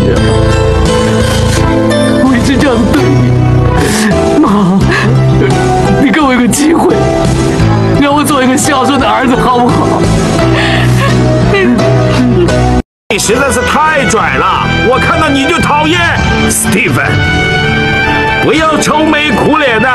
曾经不可一世的霸总厉兆天，却被对手马少南反复用手戳着额头，走投无路的他被骂得像条狗一样。他这次主动找马少南，是因为马少南现在是四海集团最大的股东，为了不受牢狱之灾，求他放弃追究自己挪用公款的事情。老狐狸马少南让厉兆天出售在四海集团的所有股份，以此作为交换条件。现在一无所有的厉兆天反而看得很开，因为他坚信自己迟早有一天会凭自己的实力，像自己的外公一样白手起家。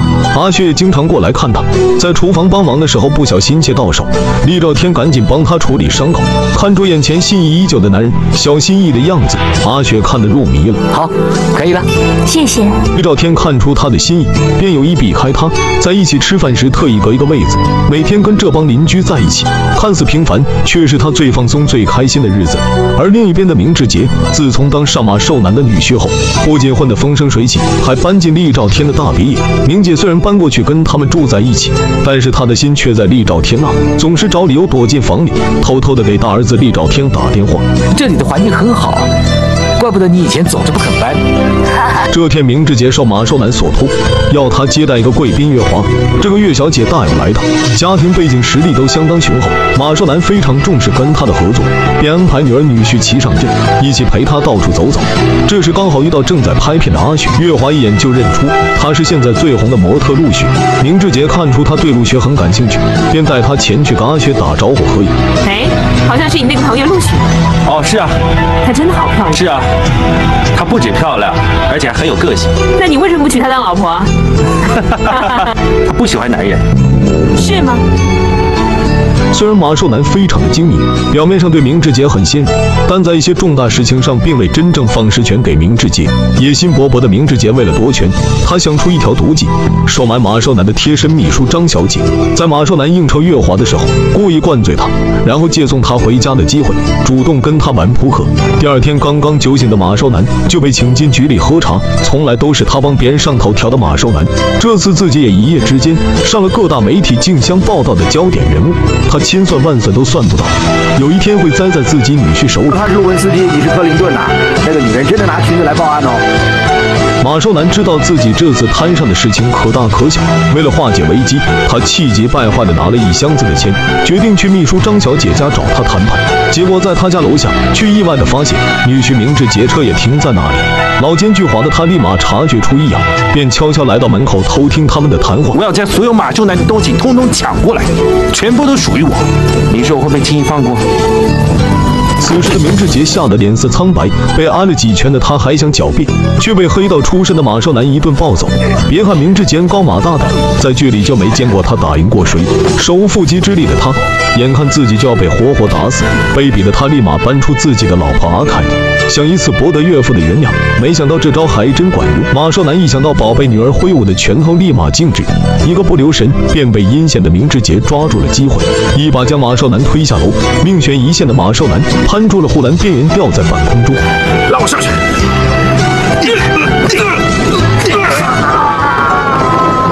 上一咒人我见过不少，你记不记得你跟我说过要给我六十年的时间赢你？你看看现在这间办公室，这是你住的房子，你看那部车，全部都是我的。你拿得回去吗？这个坏事做尽了，明志杰因把岳父马少南推下楼，此刻正在接受警方调查。而明志杰和张小姐早就串通好，一口咬定是马少南对张小姐进行骚扰，甚至还要打她。而女婿明志杰看不惯岳父打女人，连大义灭亲，不小心把她推下楼，就这样稀里糊涂的就把这次事故糊弄过去了。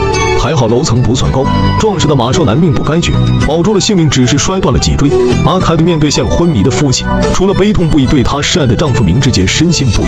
反而一旁的明姐看儿子说谎的表情，看出了一些端倪，尤其是当张小姐的出现，明姐更加肯定这个女人跟明志杰的关系，并不像普通同事那么简单。正在这时，马少南前脚刚出事，厉兆天后脚就收到金马集团的律师函。厉兆天找到明志杰，告诉他自己跟马少南谈好用股份还债，并签署了一份临时合约。可现在却被重权在握的明志杰全盘否认。相比厉兆天这点股份对他而言，不如自己让亲大哥坐牢更解气。而如今嫌疑翻身的明志杰底气十足，把当年厉兆天说过的狠话一字一句喊了回去。明姐不想看到两个儿子自相残杀，她天真的以为能劝服他，可这样只会让他更加嫉恨厉兆天，让他觉得是明姐偏心。那个曾经对自己百依百顺的母亲，总是为了大哥而跟自己作对，对厉兆天的仇恨变本加厉。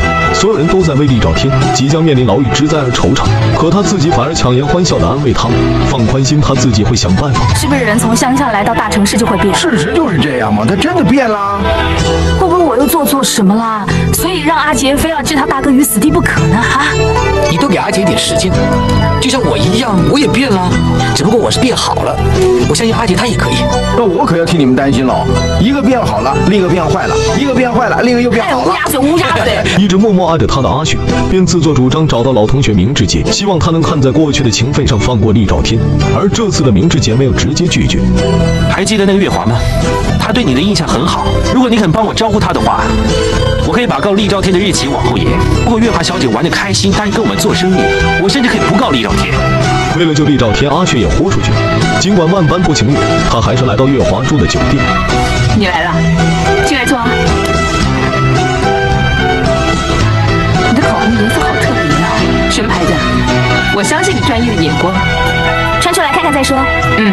可精明的月华一眼就看出阿雪满脸心事，并不是真心的陪伴自己，于是追问她不开心的原因。阿雪鼓起勇气，将明志杰陷害厉兆天，逼迫自己的所作所为都告诉了他。没想到这个权力滔天的月华是一个满满正义感的富二代，他决定帮阿雪出这口恶气，便找到明志杰。这份合约我可以签字，但是你要收回寄给厉兆天的律师函，并且履行马寿南跟厉兆天签过那张临时合约的条件。有其他选择。这样吧，你准备好合约就通知我。但是我想，这份合约可能是我跟你们公司签的唯一一份合约了。岳小姐不再跟我们公司合作，绝对是我们公司的遗憾。笑什么？没有啊，你转一圈看看。是不是我的裤子破了？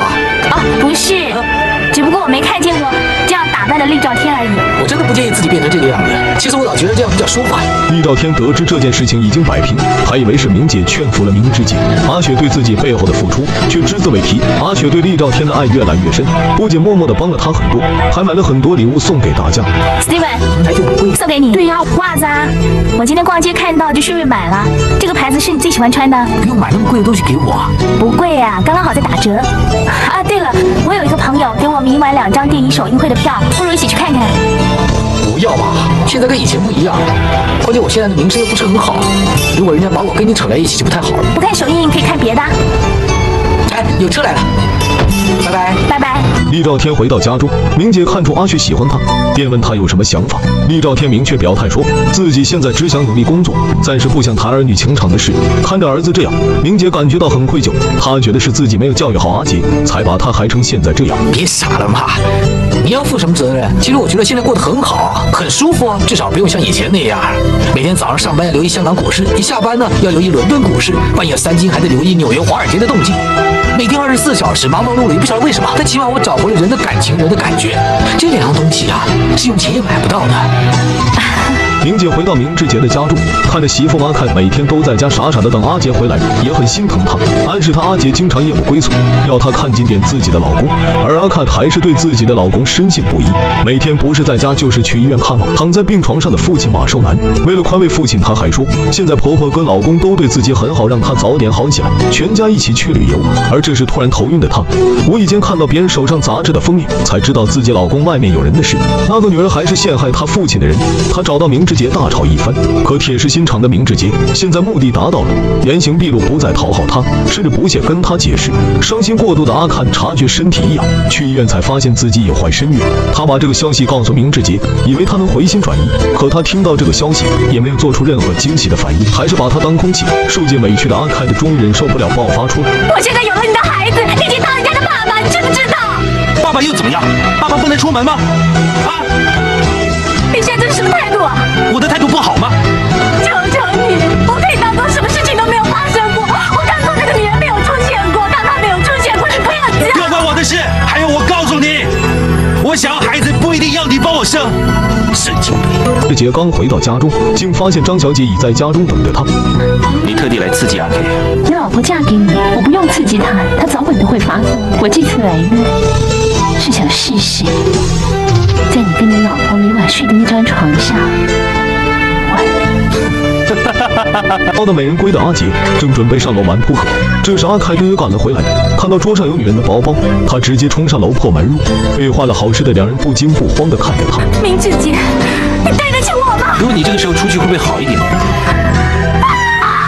这个曾在商界呼风唤雨，靠游泳到香港做水果批发生意起家的金马集团总裁马寿南，当时作为能与厉兆天抗衡、明争暗斗的对手，自认为看人很准的他，如今却被狼心狗肺的女婿害到只能在床上度日。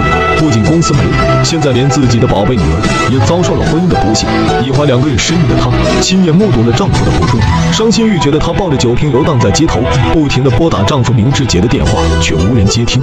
她一想到他们正在干一些苟且之事，便有了轻生的念头，一口气喝完那瓶酒，直接住进了医院。还好命大，他跟肚里的孩子都并无大碍。明姐跟厉兆天还有一直喜欢他的阿虎都闻讯赶来，而冷血的明志杰知道妻子住进医院竟麻木不仁，连医院都懒得来。爸爸变傻了，女儿有了孩子还要自杀。看到弟弟这样对待自己的妻子，一直跟马少南水火不容的厉兆天也看不过眼，他愤怒地找到在同一家医院的马少南，想他重斗志，不要再颓废下去。你还记不记得两年前，我们还拼得你死我活，想不到我们今天全都是大输家。我输掉了四海，你呢？输给明志杰，甚至包括你的人生，还有你的女儿都输掉了。南哥，我已经想得很清楚，世事岂能尽如人意？但求无愧我心，我很有信心能够从头来过。我希望你也可以，我希望可以在商场上再跟你拼个你死我活，你知不知道？你有没有听到？马少南虽然眼里泛着泪光，却始终无动于衷。气急败坏的厉兆天不顾医生的劝阻，把他推进了女儿的病房。明姐跟阿虎都无法理解他的举动。你看清楚，她是你的亲生女儿。丽珍，她有了明志杰的骨肉，但是明杰不要她，你知不知道？还有金马国际，金马国际更需要你回去主持大局，你知不知道？南哥，快醒醒！也许是父爱如山，马胜兰终于被厉兆天骂醒，竟一大早出现在明志杰家门口，挡在明志杰的车前，丝毫没有让路的意思。突然反手从衣兜里掏出枪对准明志杰，可开枪的速度却比不上丧心病狂的明志杰，一脚油门踩到底的速度，毫不犹豫冲向马少南，把他撞翻在地。这次马少南经过手术活了下来，但因脑部撞击变得疯疯癫癫。明志杰来到医院想一探究竟，看岳父是真傻还是装疯卖傻，却被阿凯的赶了出去。她无法接受无情的丈夫对父亲做的一切，尽管明志杰解释自己是无心的，可阿凯还是无法原谅他。而回到公司后的明志杰更加肆无忌惮，借机打压那些与自己意见不合的公司元老。此时野心勃勃的他想尽快抢走马少南手里的股份，才能成为金马集团真正的话事人。以后你就住在这，就这么傻乎乎的过日子。为了得到已经疯癫的岳父的授权，他带着律师还有几个股东来到医院看一下马寿南的精神状况。为了保障集团股东的利益，所以明志杰先生提出暂时接管董事长的位置。这份授权书的内容，你看一下。其实他内容，哎，马先生，你不要这样，马先生，这什么味道？我想说病人大小便失禁，生性多疑的明志杰，即使看到岳父这样，但他还是有诸多疑虑。回去后跟张小姐下棋时的一番话，也点醒了他。如果我是你，我就会试试他到底是真傻了还是装傻。西装革履的厉兆天来银行应聘一个月薪几千的大堂经理，而面试官见他第一眼就觉得眼熟，一看他的简历，顿时倒吸一口凉气。你的学历很高啊，香港大学工商管理系学士，耶鲁财经政治系硕士。厉兆天，不会是那个厉兆天吧？你说的是四海集团董事长厉兆天啊？曾经排进香港富豪前十的四海集团的霸总厉兆天，现如今竟甘心为一个月薪几千的职位踏破门槛。以他这样的条件，面试经理也不敢做主招他进来。经过向上级请示获得批准，素有股坛狙击手之称的厉兆天换上员工制服，也做得似模似样，风生水起。热心肠的他看到一群师奶奶围在一起讨论股票，不忍这些散户被割韭菜，便过去指点了一下。这些大妈见他面生，还嫌他多管闲事。你好像以为自己是股神似的，说几点会涨就几点涨。但是我这么厉害，就不用在这边看着我们赚钱了，对不对？不要理他们，我们买了五千万，这么厉害啊！快点别打断了。不听劝的他们很快就赔了很多。这时厉兆天再次出面告诉他们一支潜力股，并说如果现在下手还来得及。死马当活马医的他们也跟风买了起来。涨两三块钱就可以卖掉了啊！结果才一会功夫，就让这群师奶赚得盆满钵满。从那以后，厉兆天的身后总是跟着一堆忠实女粉，每天跟他取经炒股。这天陆雪过来找他，还被师奶们误认为是他女。朋友开心啊。以前我坑了人家那么多钱，现在还给他们也是应该的，况且又不是我的钱。不过我真的看见他们，怕他们太贪心，反而会赔钱。此时的厉兆天一心扑在工作上，完全忽略了陆雪的感受，连约她吃饭的时间都没有。大家都是福建人，我怎么会骗同乡呢？你怎么知道我是福建人？我听你的口音就知道了，干地狼啊！好了，就二十万了，贴这么点钱，我也不会亏本的。谢谢梁先生，我们当天办手续。好，你这个员工哦，口才很好，很不错 啦。谢谢谢谢，你做的很好，继续努力。谢谢。失落的陆雪在拍婚纱广告时，一直欣赏她的月华突然出现。你穿白纱礼服真的很漂亮，我希望可以看见你穿着它走进教堂，但是可能会令你失望哦。他很关心阿雪的近况，看出她过得不是很开心，知道是厉兆天的原因，便来到他上班的银行找他。我要存一千万美金。月华，你就是红鹰集团的岳小姐啊？我们的银行非常小。如果找不到我心目中的人选，我绝对不会在这儿开户的。哦，不要不要不要，那你要找哪一位呢？谢谢。我想找厉兆天帮我开户，可不可以？呃呃，可以可以。此时的厉兆天面对这样的高端客户，他身上再也没有了往日的张狂。面对月华提出让他帮忙理财，他也显得谨小慎微。两人经过几番对峙，厉兆天看出月华此次的来意，并不是真心找他办理业务，本想推掉这个大客户，却又让总经理给拦了回来。我只是想问你，你为什么要这样对陆雪？如果你真的想重新开始，忘记以前的厉兆天的话，那你也应该忘记以前的陆云。对不起，我做不到。今天晚上他约了我在环球饭店吃晚饭，去了，你去吧。到餐厅时，陆雪看到他很诧异，曾经随随便便吃顿饭都要大几十万的厉兆天，这次竟让服务员大跌眼镜，以为自己认错了人。我们吃套餐嘛，一份一百六十八块钱。随便啊。麻烦你两客商业晚餐。好，商业晚餐。你一个领薪水就请我们吃大闸蟹，又不便宜，一只要四百多块哎。那又是我第一次领薪水，我本来就应该请大家吃一顿嘛，就当做是我谢谢大家这么照顾我。你要吃就好好吃，不要说那么老套的对白，会影响大家的食欲呀。这时鬼灵精怪的阿宇突发奇想，觉得自己平时炒股都是赚的小钱，他想跟人合伙开一家规模不大的证券公司。鸡哥一听说只需要一间房、几台电脑就能搞定，立马来了兴致。金融界走出去这身份地位都不同 哎。对呀对呀。阿宇，算我一份，我也得算你一份。哎，我也想合伙，行不行啊？那也要合伙。阿玉做这么多铺垫，就在等自己的前老板兼好兄弟厉兆天发话，知道他拿不出多少钱来，并允诺他只需要出脑力，不需要投入一分钱。可不管大家怎么劝说，厉兆天依然坚持不愿加入。他很满足现在找的这份月薪几千的新工作。当明姐进来时，厉兆天看出自己母亲并不开心，便带她下去庙街走走逛逛，散散心。原来明姐是为小儿子明志杰撞自己岳父马少南的事情烦恼，她不敢相信那个曾经性格开朗善良的儿子变得冷血无情。以前我含着金汤匙出生，可以说是要风得风，要雨得雨。我做任何事情呢，根本就不会管别人的感受，不管是对还是错，只要我自己喜欢就行了。阿杰他不是啊，他很穷，他是苦过来的呀。就因为这个样子，所以阿杰现在所做的事会比我以前更疯狂，因为他迷失了方向，也迷失了自己。这种感受啊，我以前也有过。次日，厉兆天找到阿雪，准备在陆云生日这天去祭拜他，没想到丈母娘也从上海赶了回来。温妮，生日快乐！妈真是想不到，你这么快就离开我，丢下我自己走了，阿姨。这时墓地里有个杂工想以帮忙除草、清扫墓地，碑文上期等事务一手包办，让厉兆天给他三百块，被厉兆天回绝后，还一直纠缠讨价还价，扰乱清静，便被厉兆天呵斥的把他赶走了。三人一战就是几个钟过去了，阿雪眼看天色渐黑，厉兆天还纹丝不动。Steven，我想姐姐也知道你的心意了，我们回去吧。当他们正准备离开时，那个心有不满的杂工又偷偷回来准备报复，用笔沾上红漆，在陆云的照片上涂抹，刚好被回头的厉兆天看到。哎，你干什么？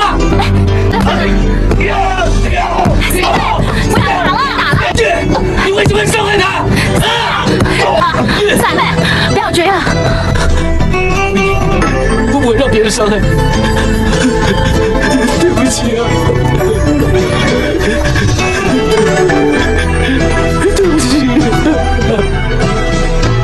回到家中的阿雪一直看着姐姐录影的照片发呆，母亲为她做了一桌子喜欢吃的菜，她却一点胃口都没有。织女莫若母看出女儿是为厉兆天伤心，可阿雪却不肯承认。没有，我没有喜欢姐夫，我完全对他没有意思。是你妈，没有人比我们更亲了。如果你对妈也不能讲真心话，你会很痛苦的。我知道在他的心里面，始终还是很喜欢姐姐，他依然想念着她，始终都是姐姐最重要。他只是把我当成他的小姨子，对他有意思又怎么样？一定不会有结果。你为什么要这么悲观呢？阿云已经死了，你喜欢他也不是问题啊。何况你姐姐在天之灵，一定不会怪你。你不用怕，妈支持你。曾经千亿身家的四海集团董事长，分分钟调动百亿资金的股坛狙击手厉兆天，如今穿着蹩脚的蓝色工装，甘愿坐在银行大厅服务各种大爷大妈，为他们填写各种表格。经历过大起大落的厉兆天，只想安安分分的过日子，不想再斗来斗去。而另一边，阿玉跟鸡哥等人正在忙着开证券公司的事情，他们找了很多写字楼，不是地方太小太偏，就是租金太高。正当他们发愁时，突然大家都想到了鸡哥的那间麻将馆，现在生意冷淡，与其这样，还不如用来开证券公司。与其让人家赚三十万，倒不如我自己赚。哎，是啊，小宝不用交房租了。哎，暂时的。有时间呢，赶紧来打麻将啊！过一阵子就没了，要改行了。改什么？哎，厉害了，证券行。虽然办公室省了不少钱，但是重新装修也需要不少的投入。还好鸡哥人脉广，就让人八万八十天内全部搞定。好像名字还没想到啊。对啊，那容易啊，叫大发嘛，好彩头啊。老爸，现在不是开麻将馆，那就叫中旅泉吧。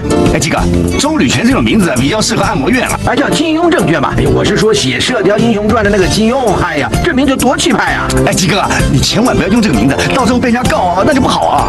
正当大家想名字想得焦头烂额的时候，厉兆天带了很多糖水给他们。当知道他们在为取名发愁，他灵光一闪，立马有了灵感。哎，叫金鸡啊！鸡哥这么旺，这个名字好啊，哎，很好哎。金鸡金鸡，日理万机，事事 OK。哇，这名字正点，很好啊，是个好彩头。好，就是这个名字啊。万事俱备，只欠东风。阿玉再次抛出橄榄枝，让厉兆天加入他们东山再起，却再次被他拒绝了他们的好意。大伙见状也不再强人所难。很快，一家麻雀虽小五脏俱全的证券公司在庙街开张了。好人缘的鸡哥一大帮邻里跟麻友们都来为他祝贺。哎呀，你可好了，当老板了呀！哎呀，我只是一个小小的股东，我的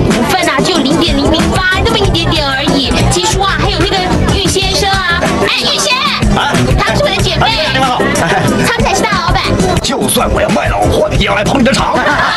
厉兆天也送来一个大花篮，正规级宣布开张大吉，好不好？金鸡金鸡，日理万机，事事 OK。看着大家意气风发的样子，厉兆天此时内心五味杂陈。这天大家都太开心了，不胜酒力的阿玉被他们几个人架着回来，厉兆天也一直帮忙照顾这个醉酒的好兄弟。此时的阿玉也戒酒，把心里话都宣泄出来。我叫你带着我们重新来过，没有四海没关系，我们再开一家比四海更棒的，好不好？弟们，又怎么了？你是我认识的人里面最棒的一个。喝醉了吧你？李兆天，你是最棒的！从头再来，我们两个再搭档，哎我们联手再把江山给抢回来，好不好？哎，你干什么再好啊？你，你是属于股市的，你是股市狙击手李兆天。厉兆天宁可继续窝在银行，做着与自己能力不匹配的事情。阿玉不甘心，再次找到厉兆天。我真的没有你不行啊，你就来帮帮我好不好？你怎么那么丢脸啊！我对你很有信心的。正在这时，那群师奶们购买的厉兆天推荐的股票一路狂泻，跌幅超过一半的师奶们大惊失色，吵着让厉兆天出手帮忙。这次，股市狙击手厉兆天和他的金牌搭档阿玉再次双剑合璧。打听一下，看什么人在搞鬼。好。喂，我找阿斌啊。哎呀，找阿飞没用啊，他专门看亚洲股市的，看几天是欧洲股市在搞鬼。你找 Peter 跟 Simon 看哪家公司在搞鬼。好。哎，现在怎么办？立刻把你们手上的股票通通卖掉。哎呀，你们现在卖掉还可以捞回一点钱，然后再现买现卖，要不然你们就会血本无归。还站在这里，赶快去卖掉。一个亲自操盘，一个收集情报。但这次不同的是，他们操盘的不再是动辄几十亿的资金，而是为了这群用血汗钱炒股的家庭主妇去对抗资本。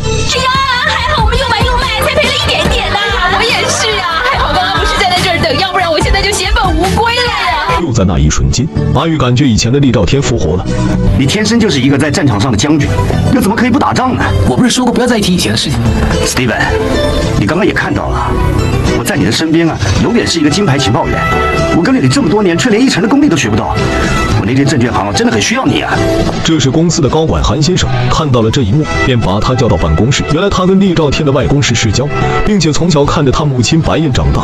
当他得知香港人都知道的厉兆天在自己的银行上班，他一开始开不敢相信，但是看到刚刚发生的事情，他不得不信。你不觉得你当一个大堂经理，多少有点大材小用吗？其实做人呢，只要敬业乐业，大堂经理也是一份很好的工作。你也是做过大生意的人，知人善任这句话，你应该很明白什么意思。我就坦白跟你说吧，我希望你在我们银行当一个财务部的顾问。我知道这个职务对你来说有些委屈，但是我很有诚意哦。韩先生的一番话再次让厉兆天陷入了沉思。这时，外面的师奶们都在焦急地等待他。哎呦，全都怪我们不好，老叫他帮忙，这次可害死他了呀！哎，那名片呢？干什么？拿出来呀！啊，如果你们想找人帮忙，就去这家公司，因为我想过了，与其帮人家做事情，不是帮朋友的好。我决定辞职。从明天开始呢，我会在这家公司上班，我会继续帮你们。Steven，你真的来帮帮我？你现在不要告诉我你不请我啊，工作都辞掉了。玉国雄怎么请得起厉兆天呢？过来当我老板。放心吧，我一定会照顾你们的。欢迎厉兆天先生加入我们金基外汇证券公司，成为董事总经理，以后带领我们还有所有客户迈向发财之路。不过我真的不希望大家再叫我什么股市狙击手。其实“狙击手”这三个字啊，有贬低的意思，就是狙击其他公司以大吃小、罔顾小股民的意义。所以呢，我希望金基证券能够完全达到投资顾问的功能。就算是投资了一两万的菜篮族或者小股民呢，我们也尽量让他们赚到钱。大家都说我奸诈，说我不择手段，还说我是刽子手。这个曾经被世人称作刽子手的男人的改变，让所有人都刮目相看。金基证券将是他涅槃重生的地方。一贫如洗的他，如今就算赚钱也会赚得光明磊落，赢也要赢得堂堂正正。所有人都为他的好豪言壮语举杯同庆，而一直默默支持他的阿雪，这次更是拿出姐姐陆云留给自己的五百万保险金，让阿玉放进公司帮忙理财，并交代他千万不能让厉兆天知道。可是作为一家在庙街的小证券行，客户订单大多都是大爷大妈们存的卖菜钱，一下多出一个五百万的订单，始终过于醒目。很快，厉兆天无意间就发现了这笔款项。啊，还好我正好在看一张五百万的订单，要买马克。五百万这么大数目，为什么会有这么大的客户？你不通知我？我本来也想通知你啊，可是玉先说他来就可以了。订单我看看。阿玉得知厉兆天已经知道此事，正在训斥员工泄露了这个消息。我不是跟你说过了，这 case 是我的嘛？有什么事情你告诉我，这次被你害死了。这时基叔刚好进来，不知前因后果的他还觉得这个没什么大不了的，让厉兆天亲自出马，才能显出他们证券行宾至如归。这次我接了这个 case，我一定会被骂到臭头啊！你也知道自己该骂。对不起啊，Steven，阿雪她在这里开户，是她叫我不要告诉你的。阿雪在这里开户，为什么不能讲啊？大家都是好朋友，拿点钱出来玩，这有什么关系呢？拿一点，这拿一点就是五百万。如果不是我看到，现在不知道还有没有剩一半了。五百万呐、哎，他还真捧场啊！阿斌，把阿雪的订单偷偷买澳币，你下次别这样了。知道了，我还是自己弄吧。玉啊，你小心点嘛，赚了钱就可以打响知名度。不过呢，这五百万要是赔光了，朋友都没得做了。行行行，大天呐，我就说嘛，没你我们不行哎。论经验呢，还有经验还不够，不过下次小心点就没事了。训斥阿玉，他立马约阿雪出来。你知道了？你知不知道你姐姐的保险费差点剩一半？投资本来就是有赚有赔的嘛。如果你真的想要投资，你就不会叫阿姨不告诉我了。这钱是你姐留给你的，你就好好的留着它吧。我留着干什么呢？不是自己养不起我自己，真的留下那些钱买间房子给自己养老。尽管厉兆天并没有太大自信，能让这笔钱创造更多的收益，但阿雪仍希望他能把自己当成普通客户，只要将这笔巨款交给他打理，并告诉他要离开香港去美国发展的事情。我希望在我回来的时候会变成一个大富婆。你去美国？是啊，应该会住个几年。恭喜我啊，并不是很多的中国人可以在美国做 model 的哦。恭喜！回去了，我要帮我妈妈收拾东西，她明天回上海。拜拜。拜拜。每一个决定转身的人都在风里站了很久，人不耗尽所有的热情与期待，是不肯说再见的。我再问你一次，你到底喜不喜欢阿水？我没喜欢过他，够清楚了没有？你打我，你还有没有把我当你的老板？结合伙开的证券公司正如火如荼的进行着。厉兆天仅凭一己之力吸引了一大批忠实粉丝，但有几个别的街坊却对厉兆天抱有不同的看法。哎呀，如果他真的行啊，就不会把所有的产业输光，窝在庙街开个小公司了。应该不是吧？人呐都会有倒霉的时候。之前呢，他真的是倒霉倒到家了。不过现在不同了，现在他东山再起，一马当先，简直是节节胜利啊！几个话音刚落，旁边的那个从银行一路跟到这的师奶就为厉兆天打抱不平，说自己自从跟厉兆天炒股后，短期内已经赚了十来万，引得所有人都羡慕不已，更加坚定了这群散户的信心。外面人声鼎沸，里面的厉兆天跟阿玉和阿虎正在讨论一只潜力股，并有内幕消息，这只股票随时会大涨，有个一千多两千万的资金，如果不找个机会赌一次大的，我们这辈子注定要窝在庙街。我们什么时候才可以回到中环呢？阿玉说的没错，史蒂文，你根本不属于庙街，你只不过在这里等一个机会。在他们的极力劝说下，厉兆天用他那敲敲键盘就能日进斗金的双手核算了一下，觉得这个股的确大有可为，三立马一拍即合买它。而另一边的明志杰也没闲着，一直关注着厉兆天的动态，并查到他正在花大量资金，甚至贷款一点点的买进哪只股。他一定是想一次翻身，没这么容易。我就要一次玩死他，让他受重伤，以后永远也翻不了身。他现在买什么股，总之你现在马上也买那只股。阴险狡诈的他之所以跟买这个股，是为了炒高价格，到时候他会在外面拼命的借货，等厉兆天手上有大量股票的时候，他们就会大量低价卖出赔死他。阿宇收到明志杰大量买进同一只股的消息，正在抱怨着：股市很自由，我们有权买进，人家有权买啊，只有你能赚呐。以现在明志杰才大爷大的实力，他们根本拿他没办法。阿玉坚持要与他死磕到底。这时阿雪来电想约厉兆天见最后一面，过两天他就要出国了。细心的他在厉兆天来之前就已经点好了两杯卡布奇诺，但厉兆天来时却重新点了一杯奶茶，因为陆云走后他就再也没喝过了。你可以这辈子都不要再喝卡布奇诺，但是你这辈子是不是也不会再喜欢第二个女人，不会再结婚？我不知道，但只要我一天在梦里见到维尼，我就不允许自己再喜欢别的女人。我也知道我跟你不可能，但是我还是不顾一切的喜欢你。对不起，你不用说对不起。阿雪这次约他出来，只是想跟他说声再见。厉兆天不但没有挽留，还让他好好把握这个机会，好好发展，并表示对他很有信心，相信他一定会成为世界级的名模。可这些并不是阿雪想要的答案，他再次失望的转身离开，独自来到酒吧。不胜酒力的他不停的买醉，还好阿玉找到他，准备送他回去，结果半路中吐了一地。阿玉，你知道 Steven 只爱我姐姐一个人，我还一头栽进去，我真的好爱她。陆人看到阿雪如此伤心，便找到厉兆天，逼他承认喜欢阿雪。已经很对不起温妮了，我怎么可能再跟阿雪在一起？如果我们两个在一起，然后他知道真相的话，他岂不是会更痛苦？你明明在欺骗自己，自欺欺人。你明明喜欢他，你为什么不说呢？你痛苦就好了，不要再害别人了。你若让他走，这辈子后悔的是你。厉兆天东山再起的地方就在这个鱼龙混杂的庙街，这里没有几百上千万的投资大户，大多都是底层老百姓。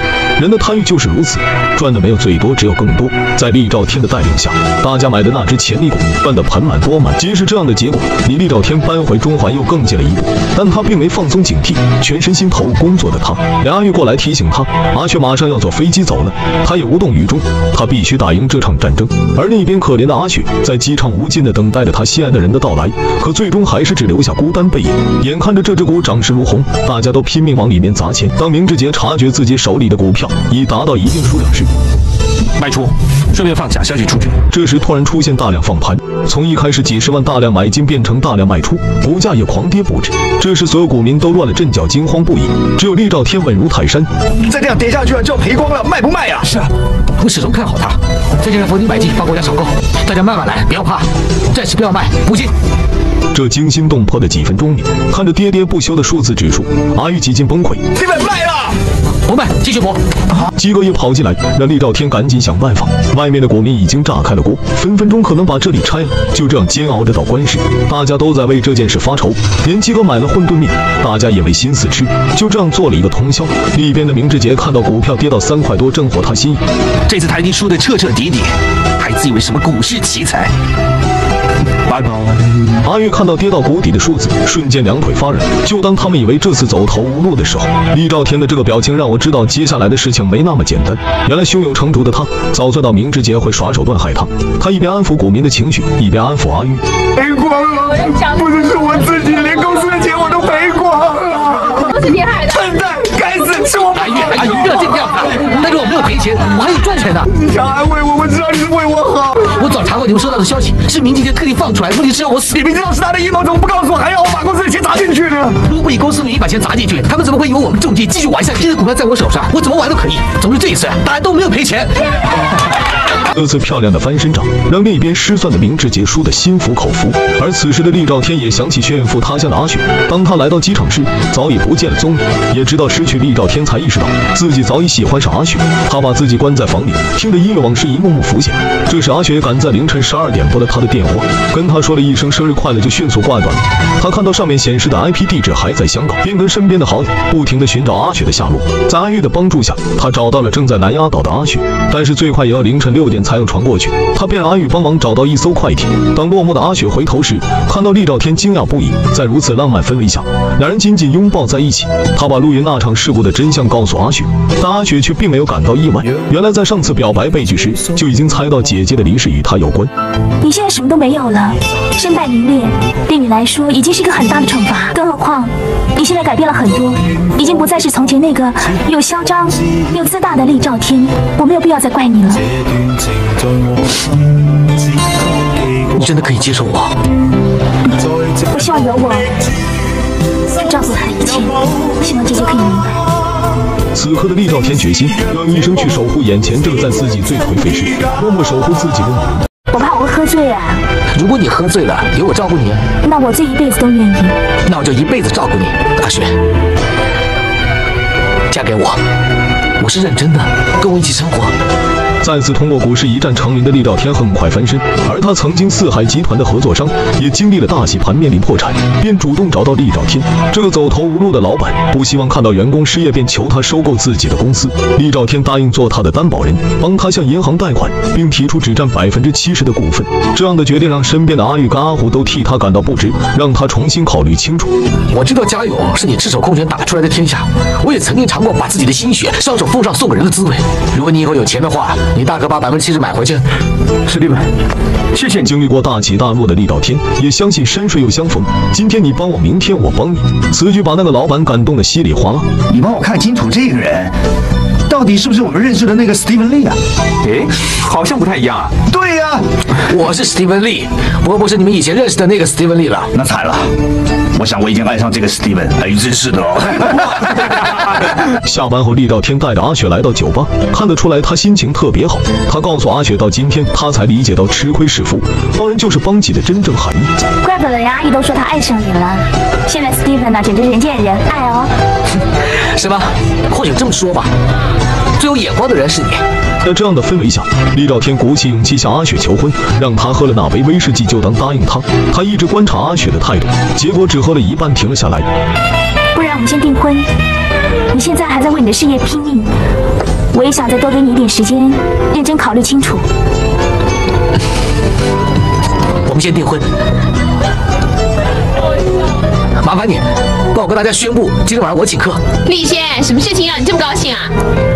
因为陆雪小姐答应跟我订婚，所以我希望全世界人跟我一起分享。那就谢谢立先了。在所有人的祝福下，这对新人即将举行订婚仪式。阿雪在梳妆桌前美美的装扮着自己，衣服试了一件又一件。之前她就很羡慕姐姐，如今自己也终于实现了心中所愿。你不开心吗？哎呀，订婚而已嘛，订婚而已嘛，有人想了很久啦。你们先订婚，然后等到 Steven 他的事业稳定下来之后，然后选个好日子再大摆宴席。我也知道他在结婚，多少都会有点阴影。我这个女儿啊，心地真是善良，又善解人意，又体贴，又长得漂亮。谁要是娶到你呀，真是她的福气。妈呀！在母亲跟姐妹的陪伴下下楼，看到阿玉他们还一脸娇羞。这时，帅气的厉兆天手捧鲜花，脚踏七彩祥云出现在他面前。在阿雪眼里，厉兆天浑身散发的光芒是他心中的至尊宝。此刻，我想起信说过这么一句话：你根本忘不了一个认认真真爱过的人。你以为错过的是一个人，其实你错过的是整个人生，一生所爱，所爱一生。戒指送给你，追求定结。我暂时先帮你戴在这只手指，下一次我也会帮你戴在无名指。上。易兆天和陆雪在亲朋好友的祝福下举行了简单的订婚仪式，而这种重要场合怎么能少了一直对亲大哥怀恨在心的明志杰？这次还带着怀孕的娇妻过来表面祝贺，实则气焰嚣张至极。阿杰，放心吧，我不是来闹事的。一个是我中学的同学，一个是我的亲生大哥，我来道贺应该很正常啊。如果你真心来恭喜我，我会谢谢你。不用客气，这都是你自己有本事，没有了姐姐还可以找妹妹来代替。这个世界上居然有这种事啊！你说什么？我没有说错。你可以侮辱我，但是你不可以伤害阿雪。我差点就做你姐夫了，真是不明白，香港这么多有钱有地位男人，你不是啊？是一个穷鬼，装可怜，不去同情人啊！啊，先回去。我会回去，我知道你偏心，那你活得开心点。阿杰，我来放心，好好好。明杰等儿子走后，一直为明志杰的失礼举动向阿雪母女道歉。厉兆天决定在商场上好好教训一下这个弟弟。他心生一计，想收购一家化妆品公司。你们知不知道，女人的钱是最容易赚的，不然呢，区区一间化妆品公司怎么会搞得上市呢？我同意，女人的钱是最容易赚的。厉兆天却很看好这家公司，便阿玉赶紧买进。而另一边的明志杰收到消息，立马也让手下跟着买进。哪怕知道那家公司根本不值得收购，但是只要能打败秦大哥，他不会放过任何一个机会。明显。我知道你想赢死你们，但是会不会会？这事他绝对输定了。我输了有什么关系？一点都不要紧。他输了，哼，他把钱都丢进去了。如果他输了，他就永远都不能翻身。很快，阿虎发现，除了他们收购这家公司外，还有其他人也在大量收购，股价一下涨了大几块。阿月查到买的人就是明志杰，真的被我猜中了。你猜到明志杰会这么做？他怎么会放过我呢？明知道我收购雅思一定不会让我顺利。我们手上有多少雅思的股票？百分之二十五，统统卖掉。啊！哎，不会吧，Steven？哎，你哎，你不玩了？我不玩了。为什么？我这是以其人之道还治其人之身。其实我是故意放出消息说要收购雅思。我这么做呢，林志杰他一定会跟我抢，拼命的买雅思的股票，股价就会涨。同时，我们手上以低价买进的股票呢，自然就一路往上飙。明志杰这次都进不了十八米，那还带着对联，统统放出去啊！大家都在举杯庆祝这次轻而易举的胜利，而厉兆天也因为这次胜利，马上赚到在繁华的中环再开一间证券公司的资金。今天明星他不在这里，我才敢讲，其实阿杰真该死，常人想要害他大哥，气他老妈。而此时的明志杰表面上看起来风光得意，实际上也骑虎难下。这次的失误对他来说也只是九牛一毛，他现在穷的只剩钱，决心要跟厉兆天死磕到底。居然反过来整我，厉兆天算你狠！我们有赔多少钱呢？不是钱的问题，是面子。我收到消息，斯蒂文打算在中环再开一间证券行，当他们公司的总部，才赢了一两次就想翻身，没这么容易，我不会放过你的。这几个年轻小伙仅凭短短几个月时间，就把公司总部开在了繁华的中环，正在紧张筹备着新公司的开张。最让人意外的是，死对头明志杰也在他们的楼上开了一家分公司，两兄弟的明争暗斗即将再次上演。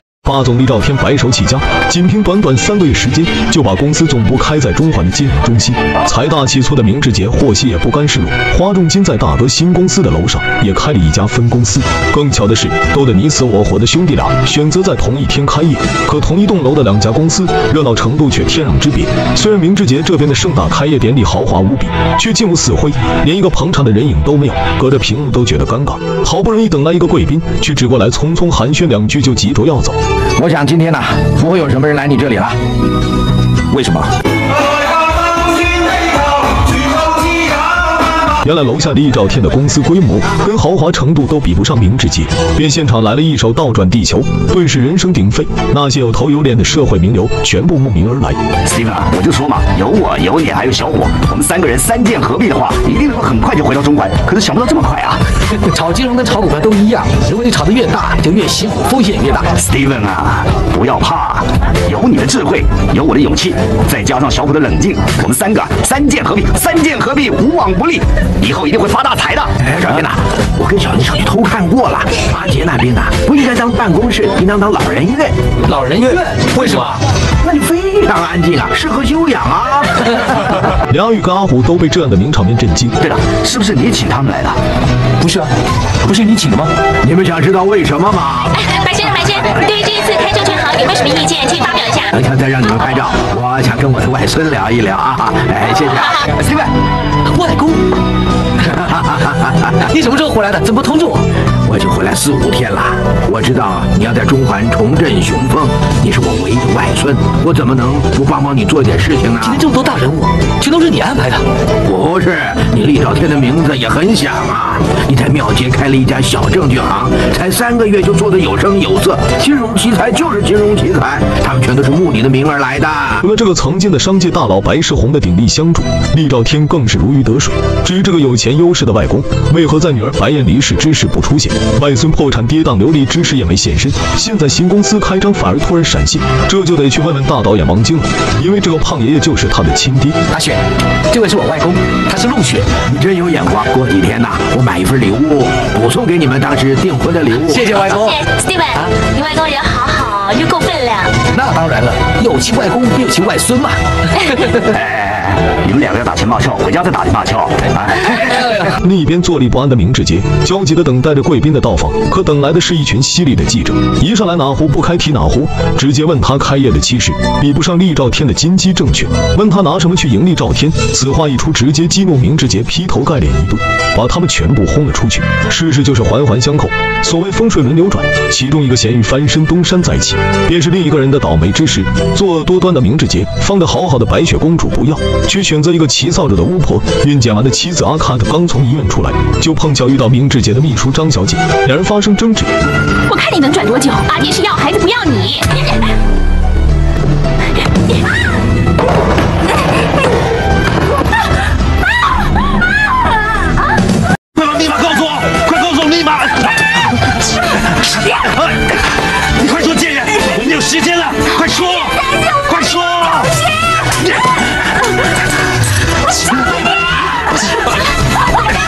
在商场上心狠手辣的明志杰，在家庭上对待妻子更是禽兽不如。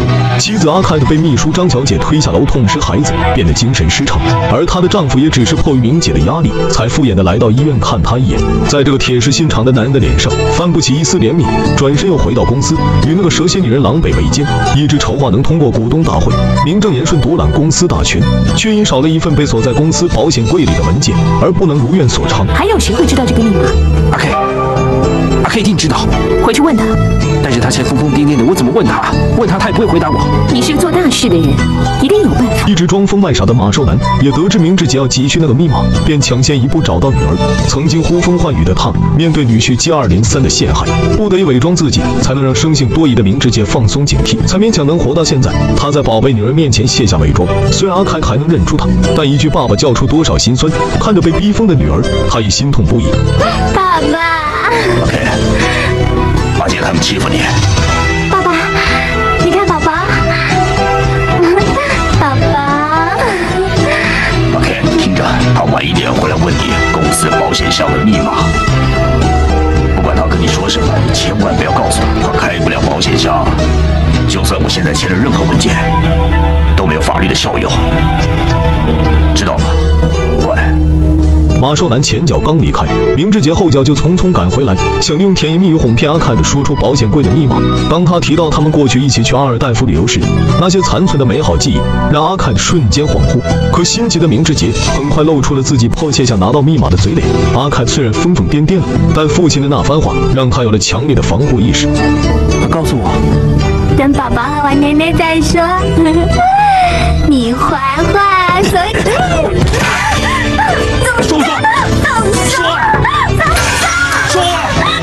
顺手拿起一把水果刀，拼命追杀这个害他家破人亡的人。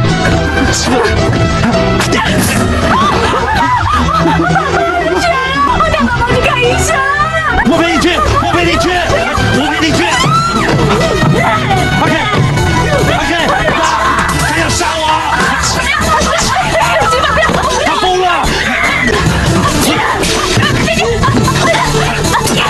在激烈的打斗中，面对这个曾经对他情深意重、给予他权力与地位的妻子，丧心病狂的明志杰毫不犹豫抢过刀，直接了结了这个年轻的生命。如果当初能擦亮眼睛，这个受万千宠爱于一身的富家千金，也不至于沦落如此下场。可惜没有如果，而这一幕刚好被返回给女儿送护身符的马少南看到，亲眼看到女儿死在自己面前，却无能为力。而在一边目睹整个案发过程的明姐，也被这突发状况吓得惊慌失措。她首先想到的是要儿子快点逃离，就当从没回来过。他要一个人扛下所有的罪名。当他把现场的痕迹都清理完，警察也赶了过来。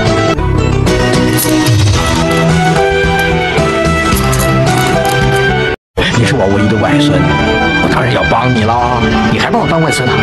不管你是阿岩生的也好，明星生的也好，我都只有一个外孙，就是你。你是不是早就知道我爸爸有两个老婆？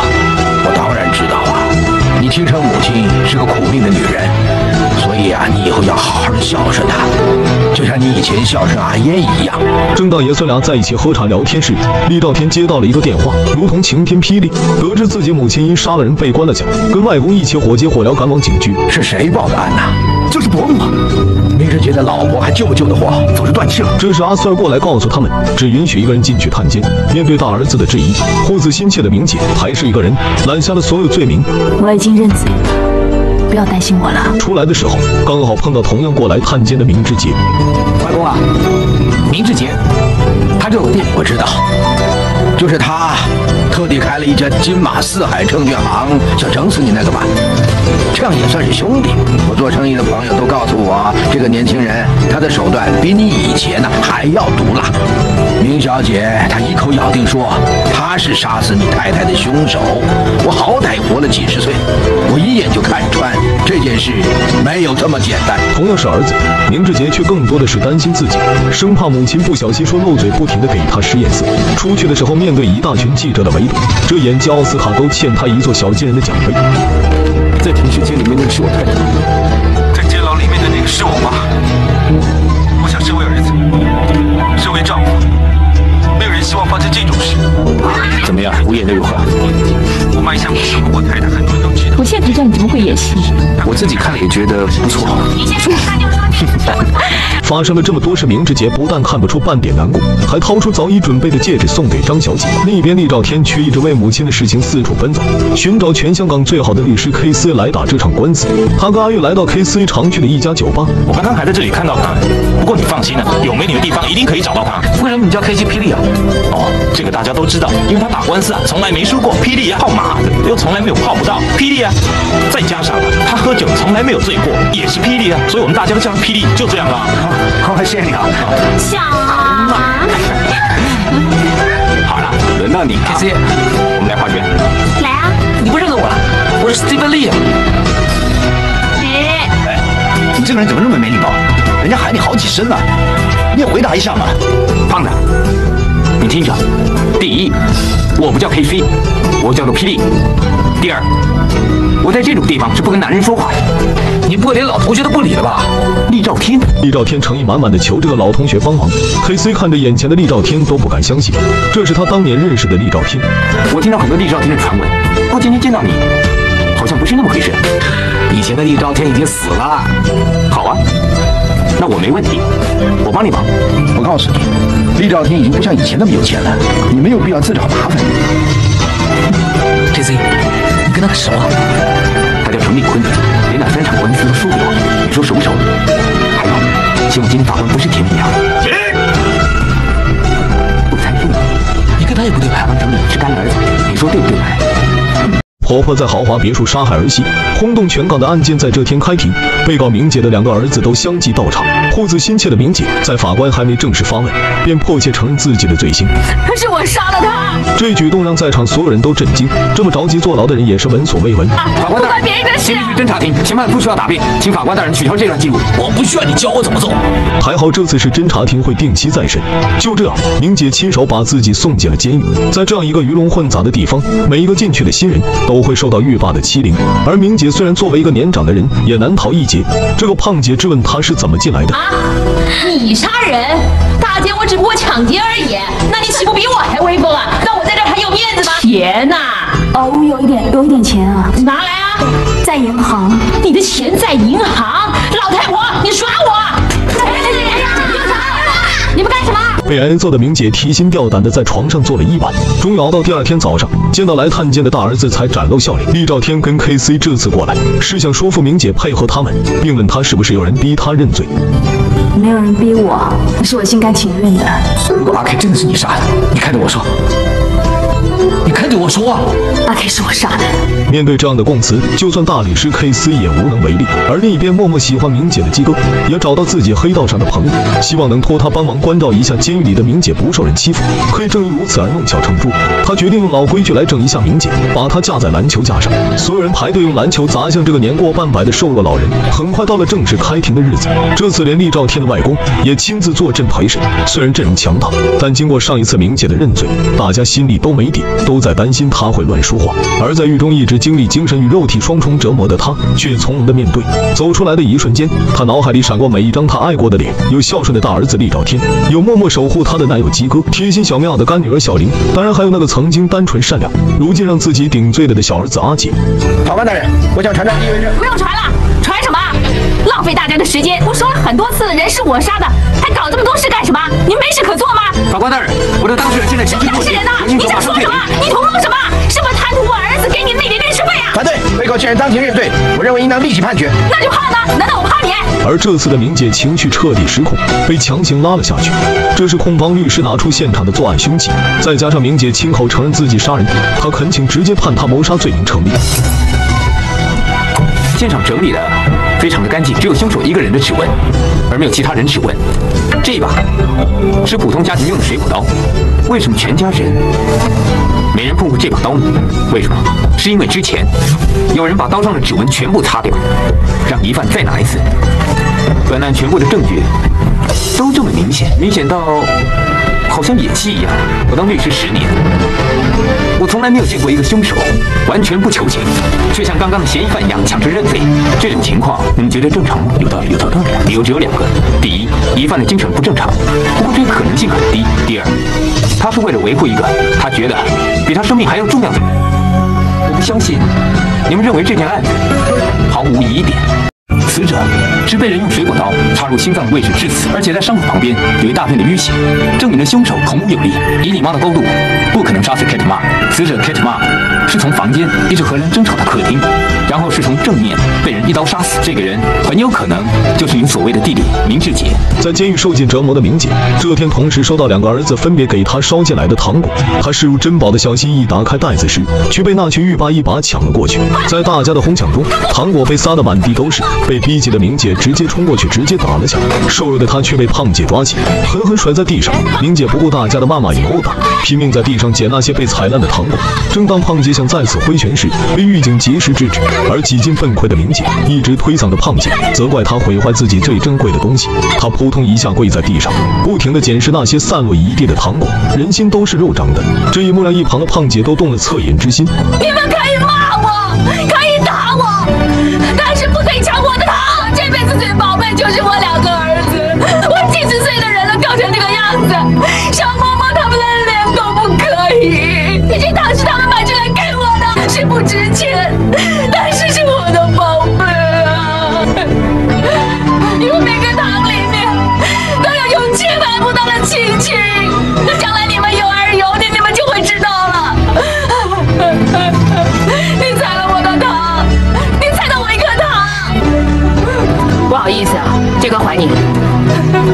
这。是良心发现的胖姐，看到他的手下偷藏了一些糖果，便走过去扇了一个大嘴巴子，告诫他们以后不准任何人欺负明姐。次日，明志杰作为人证出庭，辩方律师 K C 向他求证母亲明姐跟妻子阿凯特平时的关系怎么样。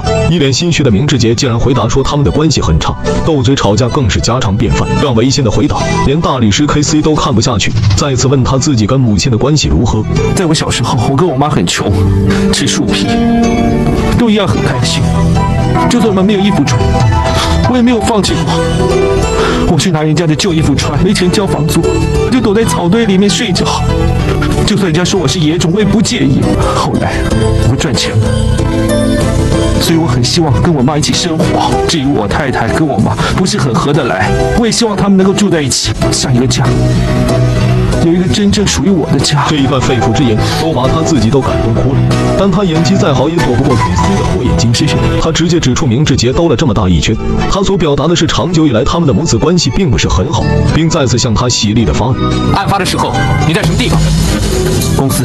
但是我看过你秘书录的口供，案发的时候你已经离开公司一个半钟头，你到底去什么地方？当晚我在我女朋友家过夜。谁是你的女朋友？张学伟小姐。在家里做什么？做什么都可以啊。聊天呢？除了聊天呢？一直在床上聊啊，在床上做很多事情，行了吧？一直到有人扣我，跟我说我妈在家里出事了，我才知道整件事情，这行了吧？这么说她是你的情妇喽？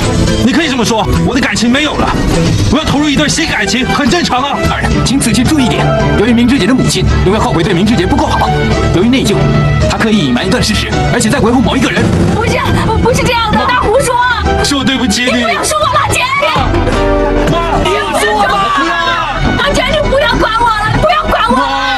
阿姐啊，他们说呢，我这件案子可能要坐四十年的牢。如果我把自己照顾得很好，出来的时候九十岁，可能还可以抱到孙子也不一定。这个心甘情愿为儿子顶罪坐牢的母亲，把自己即将坐四十年牢的事情告诉儿子，可他的回答却让他瞬间愣住。原来儿子想要的远远不止这些，他真正想要的是母亲的心。听说马寿来可能在后天出庭作证，我已经认罪了。要讲证据，现在只有希望找不到马寿来，或者是被告出了什么事。不再审了。明姐看着儿子的表情，读懂了他的想法。可冷血无情的明志杰还担心母亲不够坚定，便故意提起小时候抛下他去香港找大哥，把他独自一人留在乡下受苦受难。他的目的只是想通过这些往事让母亲愧疚，这样就会甘愿替自己付出生命。泪流满面的明杰此时在心里已经做好了这个决定：只要儿子开了口，他一定会毫无保留交出这条命。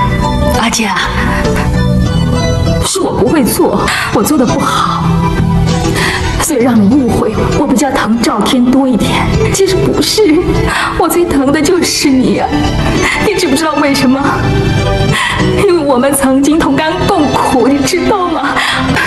我会为你做任何的事情啊，阿金，你知道吗？是我如此。而明姐的另一个儿子厉兆天一直没有放弃救这个抱着必死决心的母亲，甚至费尽千辛万苦寻找到最关键的证人马寿南。阿 Ken 的死，我在现场都看见了。如果有机会让我出庭作证的话，我一定会让他接受法律的制裁。房子外面那个护身符，就是你的，是不是？我本来准备交给阿 Ken 的。阴险的明志杰也得知马少南作证的消息，便在出庭这天绑架了他。显然这次开庭再次以失败而告终。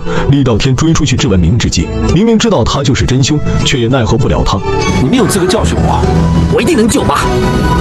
你小心会有报应。可坏事做尽的明志杰也开始走下坡路了。公司的一个项目就导致亏损几千万，而且一直帮他做事的助手也提交了辞职信。工作上不顺心的明志杰回到家中，原本以为会得到张小姐的安慰，可是这个女人很现实。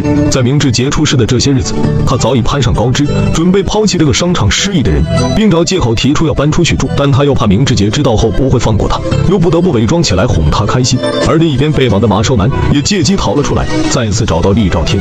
大家一起筹划着怎么在法庭上揭穿明志姐的罪行。阿旭，Steven，你怎么了？脸色这么差。我没事，你先回去啊。阿旭，快把钱拿出来。没有，我真的没有。明志杰，不要过来！你我一下打死他。你放了阿旭。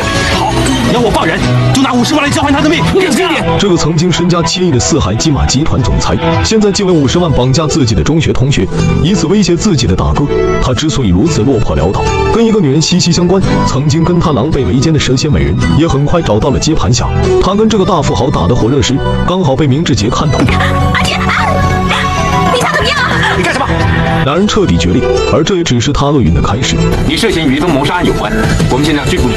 经过重重审问，此时的明志杰心态有些崩了，他非常害怕坐牢，走投无路的他只好找到刚与自己一拍两散的张小姐，求她帮自己做伪证。我把我的财产分一半。谢谢你啊！在他的再三苦求下，连张小姐这样蛇蝎般的美人都开始对他不寒而栗，才勉为其难答应他。开庭这天，明志杰依然腰板挺得笔直，似乎胜券在握。因为这次他花重金聘请了一个国外大律师，再加上有张小姐为他做证，他信心十足。可他却高估了自己。被法官大人，没有任何证据可以证明我的当事人跟以上所有的指控有关。那个杨律师显然连话都说不利索，没有任何的优势。而关键时刻，他手中握住的最后一根稻草也倒转枪头指着他。月十一日晚上用刀杀死马杰清的凶手到底是什么人？是他。那个奸人说谎，我要杀了那个奸人。要相信他的话，他是害我，他是神经病，我杀了他。接下来法官的审判让在场所有人都觉得大快人心。判处死刑。可心有不甘的明志杰却在法庭上当场自残撞头，被送进医院。趁医生不注意，瞬间偷袭，换上医生的衣服逃跑。想逃回家乡的他，现在却身无分文，于是悄悄地潜伏在张小姐家楼下等待时机。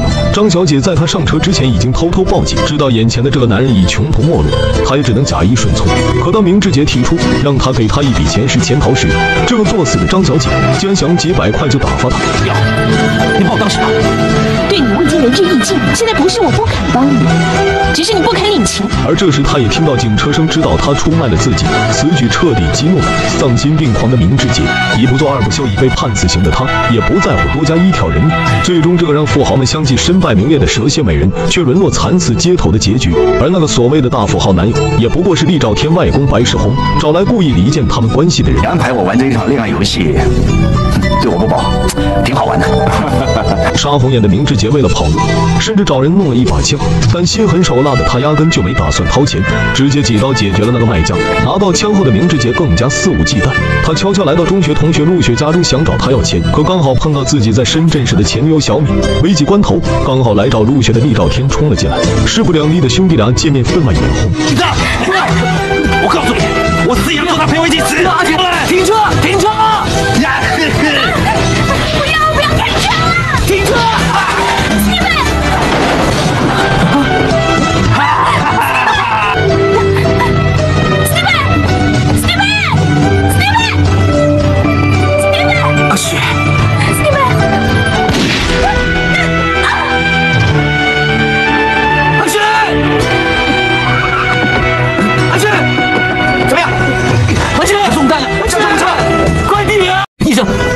血，我愿意接受一个肾。是啊，我也愿意，你替我验血。我是自愿的，医生你帮帮忙啊！是啊，我也是自愿。我也愿意。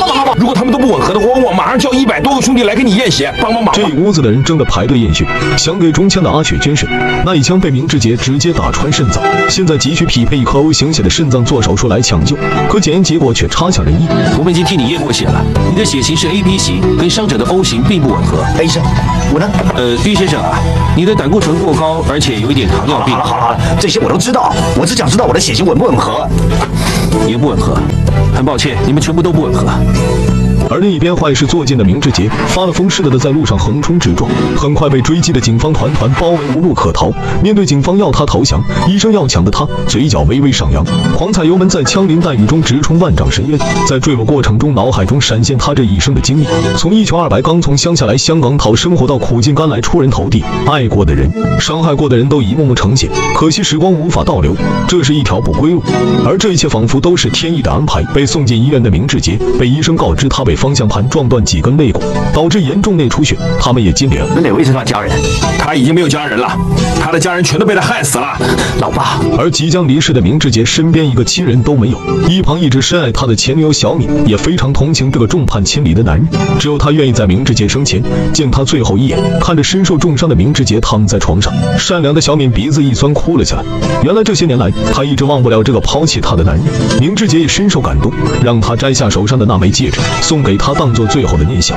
而这时，厉兆天也赶来见这个即将死去的亲弟弟一面。我跟你始终是同一个妈生的。人之将死，其言也善。作恶多端的明志杰到生命的最后一刻才醒悟，忏悔自己犯下的种种恶行。他还关心被自己打伤的陆雪的情况。当得知他急需换肾，而自己刚好非常吻合这个需求，他希望大哥能成全自己两件事情。第一件事就是他要把自己的肾脏捐给阿雪。第二，希望你可以让我叫一声大哥。大哥，赵天，妈，妈，阿姐，弟弟也撑住，撑住啊！大哥，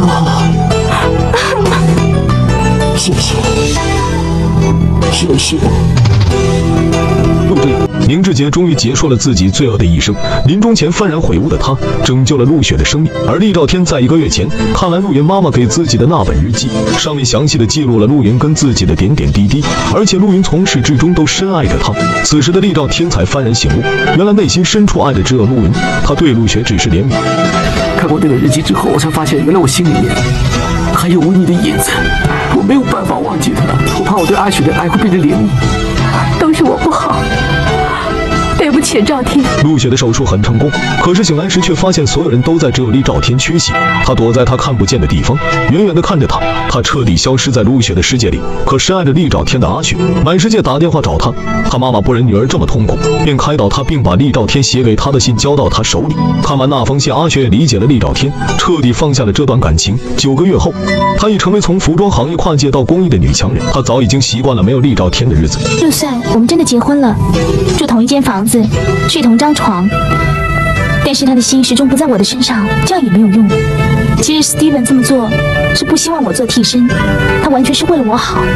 我也相信一件事，如果我们真的有缘的话，我们迟早都会见面的。嗯。